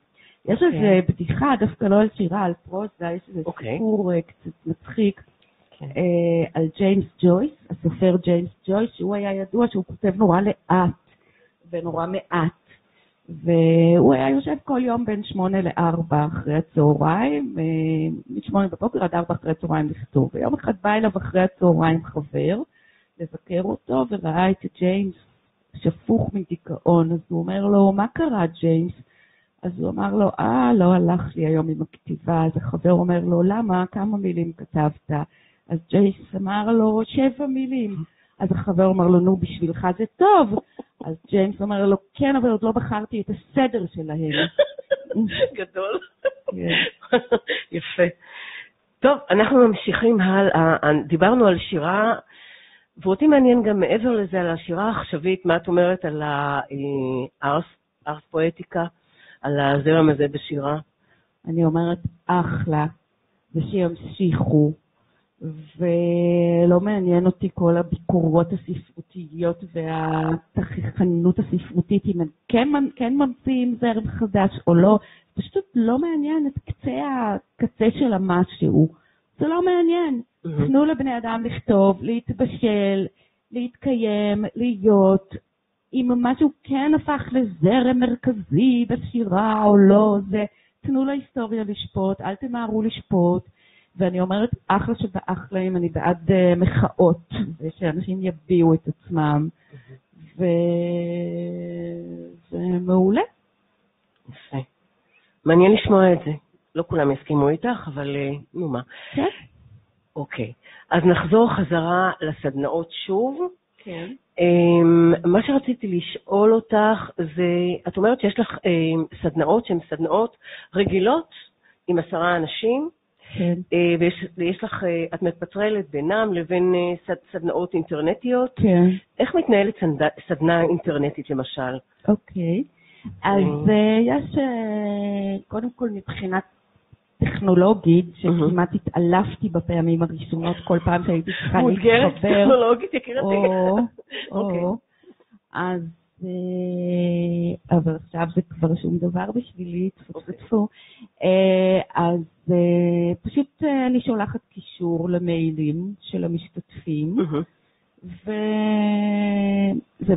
והיו משתתפות עד עכשיו, אז אני אגיד משתתפות, והן פשוט לוחצות על הקישור ונכנסות. ואז אנחנו כולנו נמצאות על המסך. זה כאילו, כאילו כולם, כולכם בחדר אחד, אינטרנטי.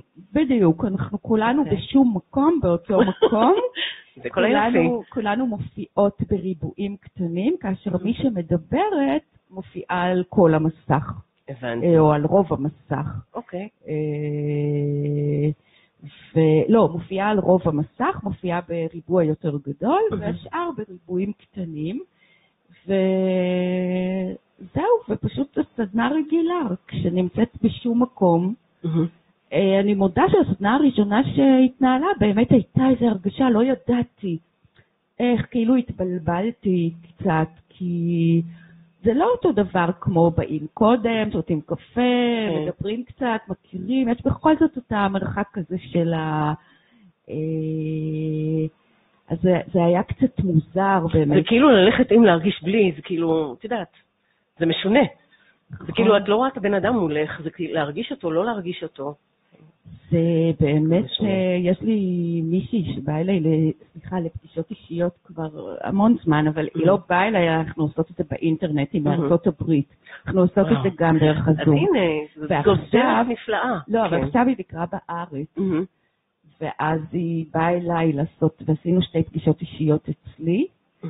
והכל בינינו השתנה ונפתח, ועכשיו גם באינטרנט, כשאנחנו עובדות דרך האינטרנט, דרך הזום, אז גם הכל הרבה יותר פתוח והרבה יותר קרוב. היה חסר המפגש האישי, אין מה לדבר. זאת אומרת, אפילו שנפגשנו רק פעמיים באופן אישי, אז כבר אחרי עבודה של חצי שנה או שלוש עשרה שנה לפני כן שעבדנו באינטרנט, עכשיו חלה פריצת הדרך. כי יש משהו במפגש האישי האנושי. ברור, ש- שאף אחד לא יכול אה, לגשר עליו באינטרנט, למשל. זה אחרת, זה אחרת.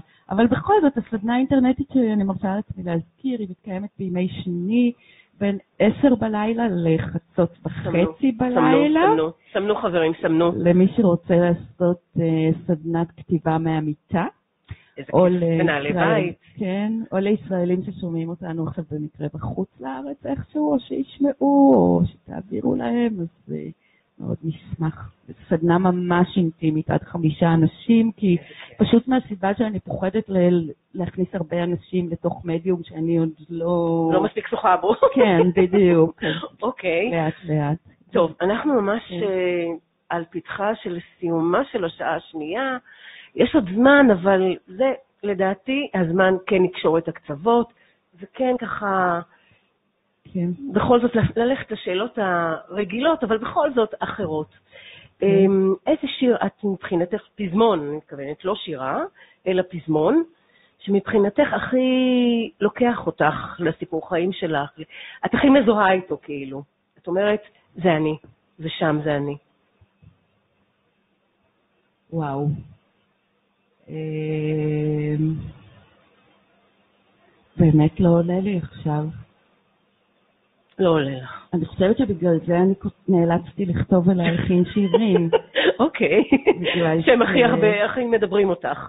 כן, בגלל שאין שירים, נאמר השירים שלי שעוסקים באונס במשפחה, אה, בשירי אהבה לנשים. אה, אני לא... לא, שירי אהבה לנשים יש הרבה. מאושרים יש פחות.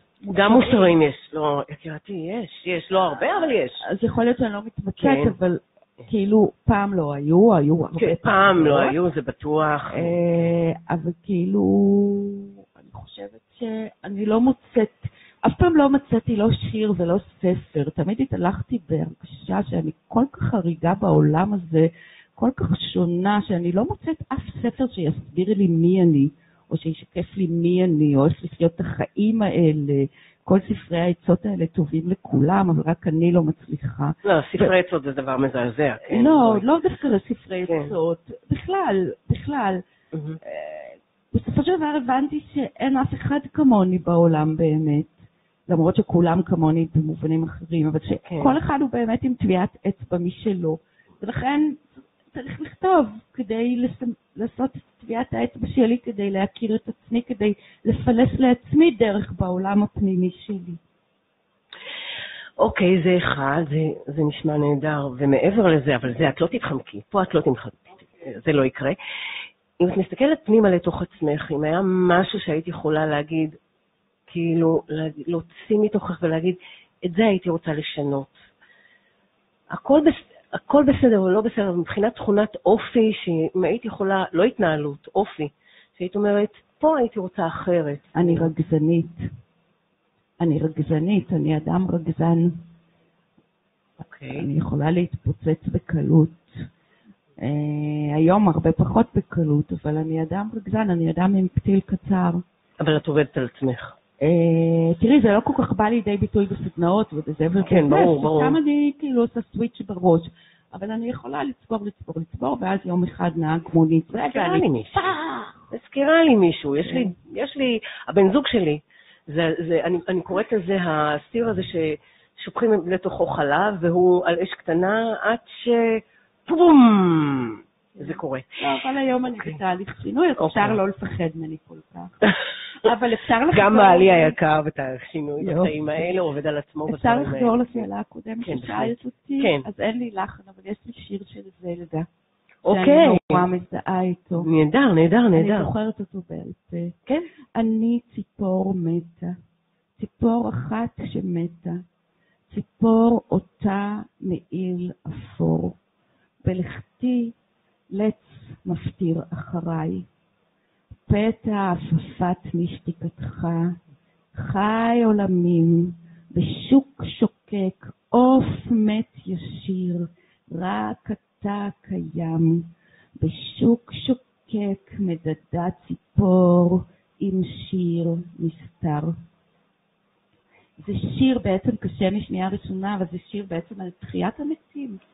כן. זלדה שהייתה אדם כל כך צנוע וכל מאוד. כך ענה וכל כך אפור וכל כך שקל היה לפגוע בו אם התחלנו את השיחה ואת רוצה לעשות סגירה באמת כן. של קצוות, התחלנו את השיחה מהמם. בנושאים של פגיעות נכון. ורגישות. וזלדה הייתה אדם כל כך פגיע, יש לה שירים שהיא כותבת שם, איך היא נכנסת, לח... יש לה שיר שהיא כותבת איך היא נכנסת לחנות ירקות, ואיזה אישה גוצה מאבדת את ארנקה, והחשד נופל עליה על זלדה, ואיך היא פוחדת, ואיך היא זה, ואיך היא פונה לאלוהים. אז אני חושבת שהדבר המרכזי גם אצלי זה הפנייה לאלוהים, שאצל זלדה זה אולי אלוהי היהודים, אצלי זה איזה אלוהים, משהו פנימי כזה.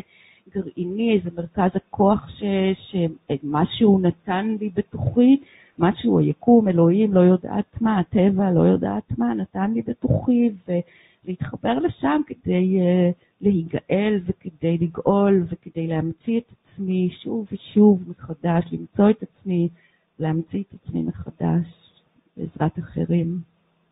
אז השאלה המתבקשת הבאה, בעצם ענית לי עליה, ההשראות. אני חולה על זלדה, חולה עליה. אה, פשוט אה, יש, יש המון משוררים נפלאים, דרך אגב, מהמם. ישראלים, יש, ובכלל, יש המון משוררים נפלאים, אבל שירים שאני מקבלת מהם נחמה, אה, באמת, זה, את יודעת, זה לקבל משיר נחמה, זה פשוט דבר גדול, נכון. ולזלדה יש את זה בגדול. יפה. טוב, אנחנו נשים כאן עוד איזה שיר. איזה שיר, לאיזה שיר את היית אה, רוצה? איזה שיר הייתי רוצה, אוי, את משחק של דמעות. אה, של נקמת... של נקמת אה, הטרקטור. כן, רגע, רגע, כן. איפה אתה? הנה הוא, 16. אבי בללי, איך לא? מילים, לחן, אין, אין, הבן, הבן, בן אדם אה, גאונות מהלכת. את יודעת כן. שהוא עשה גם את הלחן ל... את, אה, איך זה נקרא? בטיפול? לסדרה בטיפול? אה, באמת? זה לחן המדהים. אין, אין, הוא כן. פשוט, אני יודעת, אני יודעת, אני מאוהבת בו קשות, אני- מאז ומתמיד. כן. אמ, אוקיי, הלכנו לשם.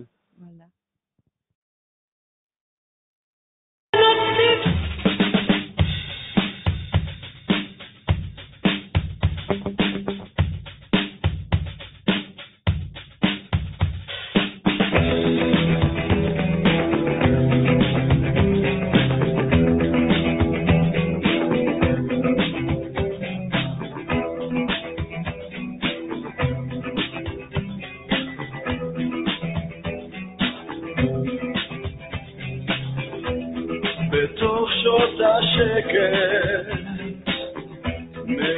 מיוזם מגופך, חש אותך נעלמת,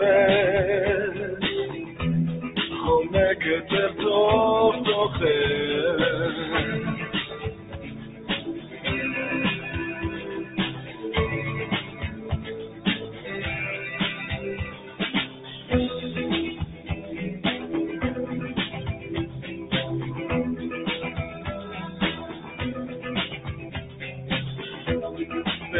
עננים של דממה את עוטפת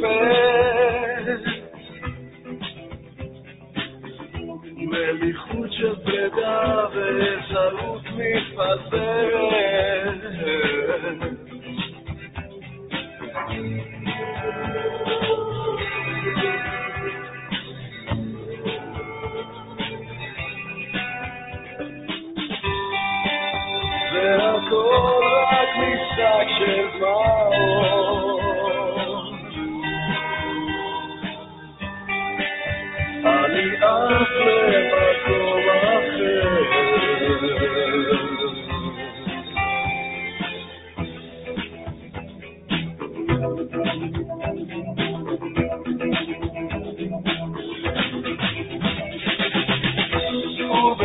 ובבוקר היום עמד מולי שותקת.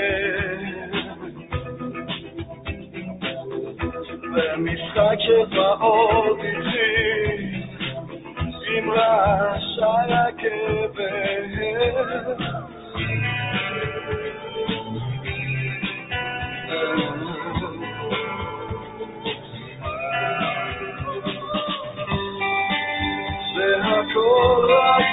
משחק של דמעות.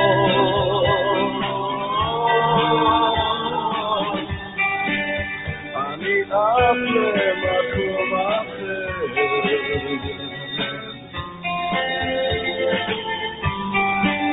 והכל רק משחק של דמעות.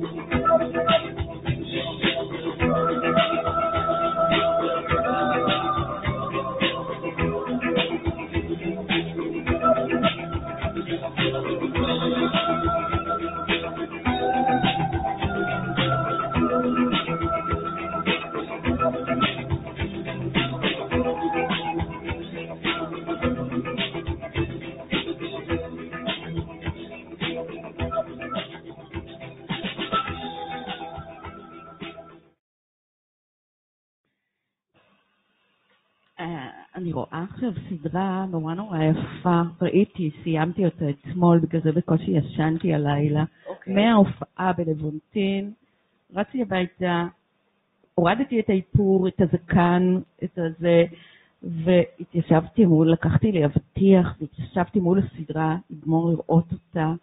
ג'נטלמן ג'ק היא נקראת, והיא מספרת על אישה לסבית, טומבוי בוצ'ית כזאת. אה, אני ראיתי את הסדרה מאלפת. שהיא, אה, שהיא, אה, כן, כן, אפשר, לס- תודה. אה, סליחה, אני מתנצלת. מדברת על אישה טומבוי בוצ'ה כזאת, שהיא חיה במאה ה-18 והיא לסבית, והיא בעלת אחוזה, והיא, וואו, כזאת אה, נפלאה וכזאת אה, עם כל כך הרבה עוצמה וכוחות, והיא הקדימה את זמנה כמובן, לגמרי. ואיך היא חוטפת מכות בגלל שהיא מאוהבת במישהי וקוראים לה גבר, תסתלק מפה וזה. אז אני רוצה בהקשר הזה להקריא שיר שכתבתי לפני המון המון שנים, הייתי בת 25, אני בת 60 עכשיו. כמה שנים חלפו? אה, 40 ו... 40 ו...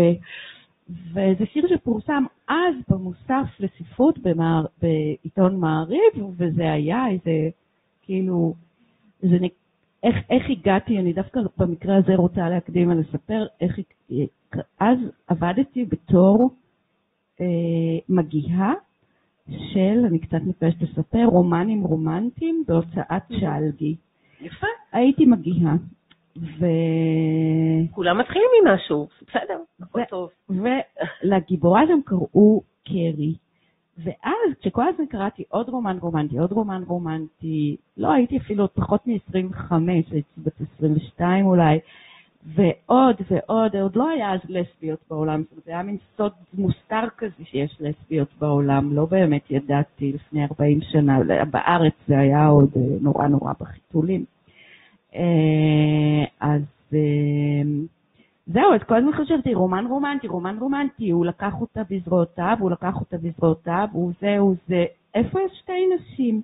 ואז כתבתי, קרי, רומן רומנטי. הם הכירו אותך בשם בלינדה או מריה כנהוג, אבל אני מכירה את קוד המחשב, קרי. ולפני שסוף סוף הפלגת איתו, נפלאה וזוהרת כמו אצבעות הבוהק של השחר המבהיק בדרכך הביתה אל האהבה. את יודעת, אני מתכוונת לרגע שבו התמוטטת אל בין זרועותיה של פילר או קרוליין, ושתי אנשים התחבקו בחום.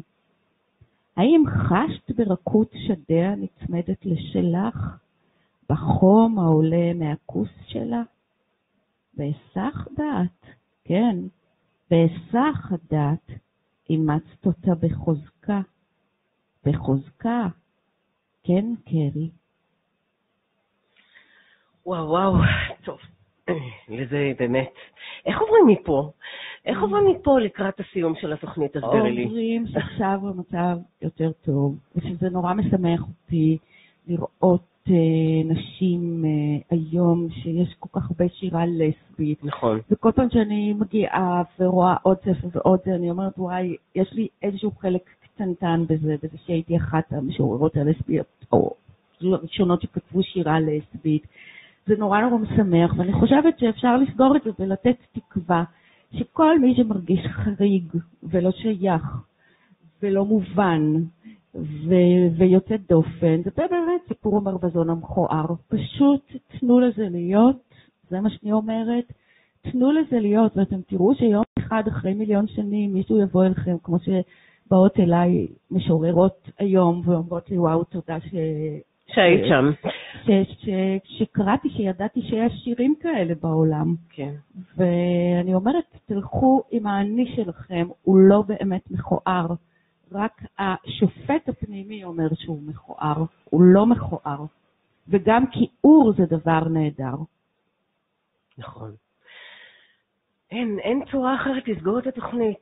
היה לי לעונג כזה, כזה ענק.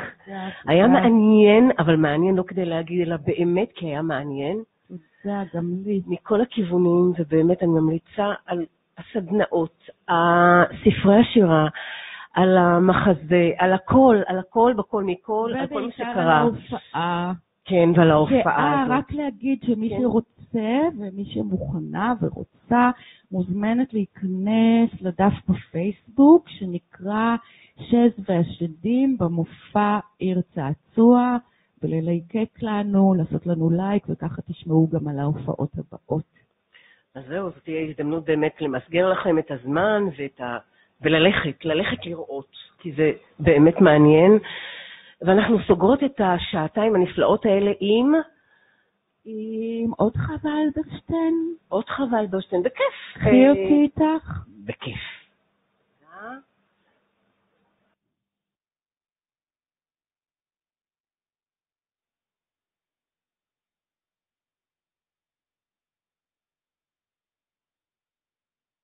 קחי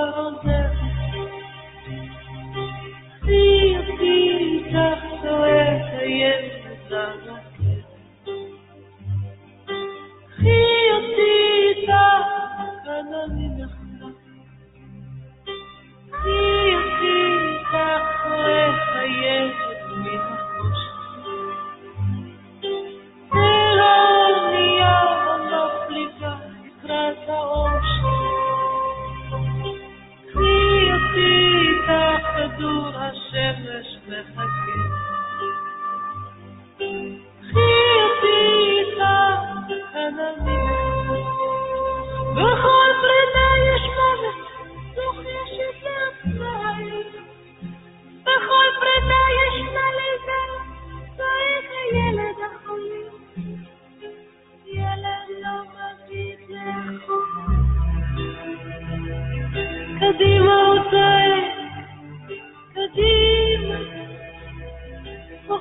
שיהפוך לנתיב של מלח, כמו אבא ואמא.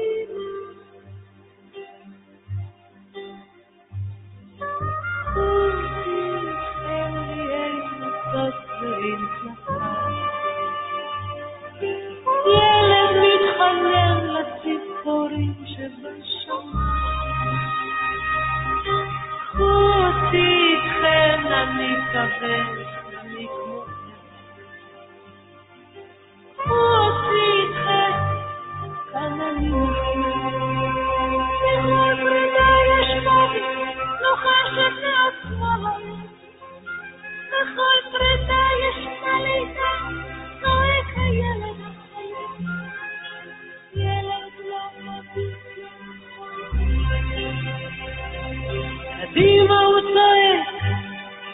מדהים, פוחד שיהפוך לנציב של מלח, כמו אבא ואימא.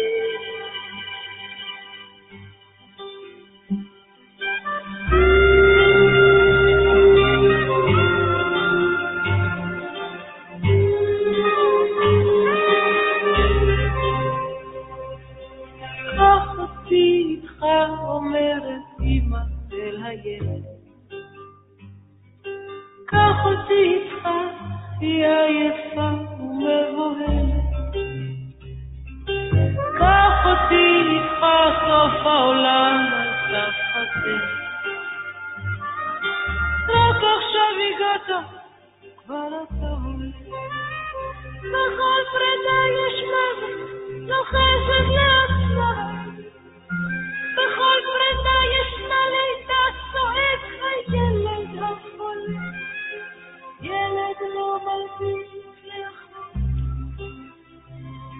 קדימה הוא צועק, קדימה, פוחד שיהפוך לנציב של מלך, כמו אבא ואימא.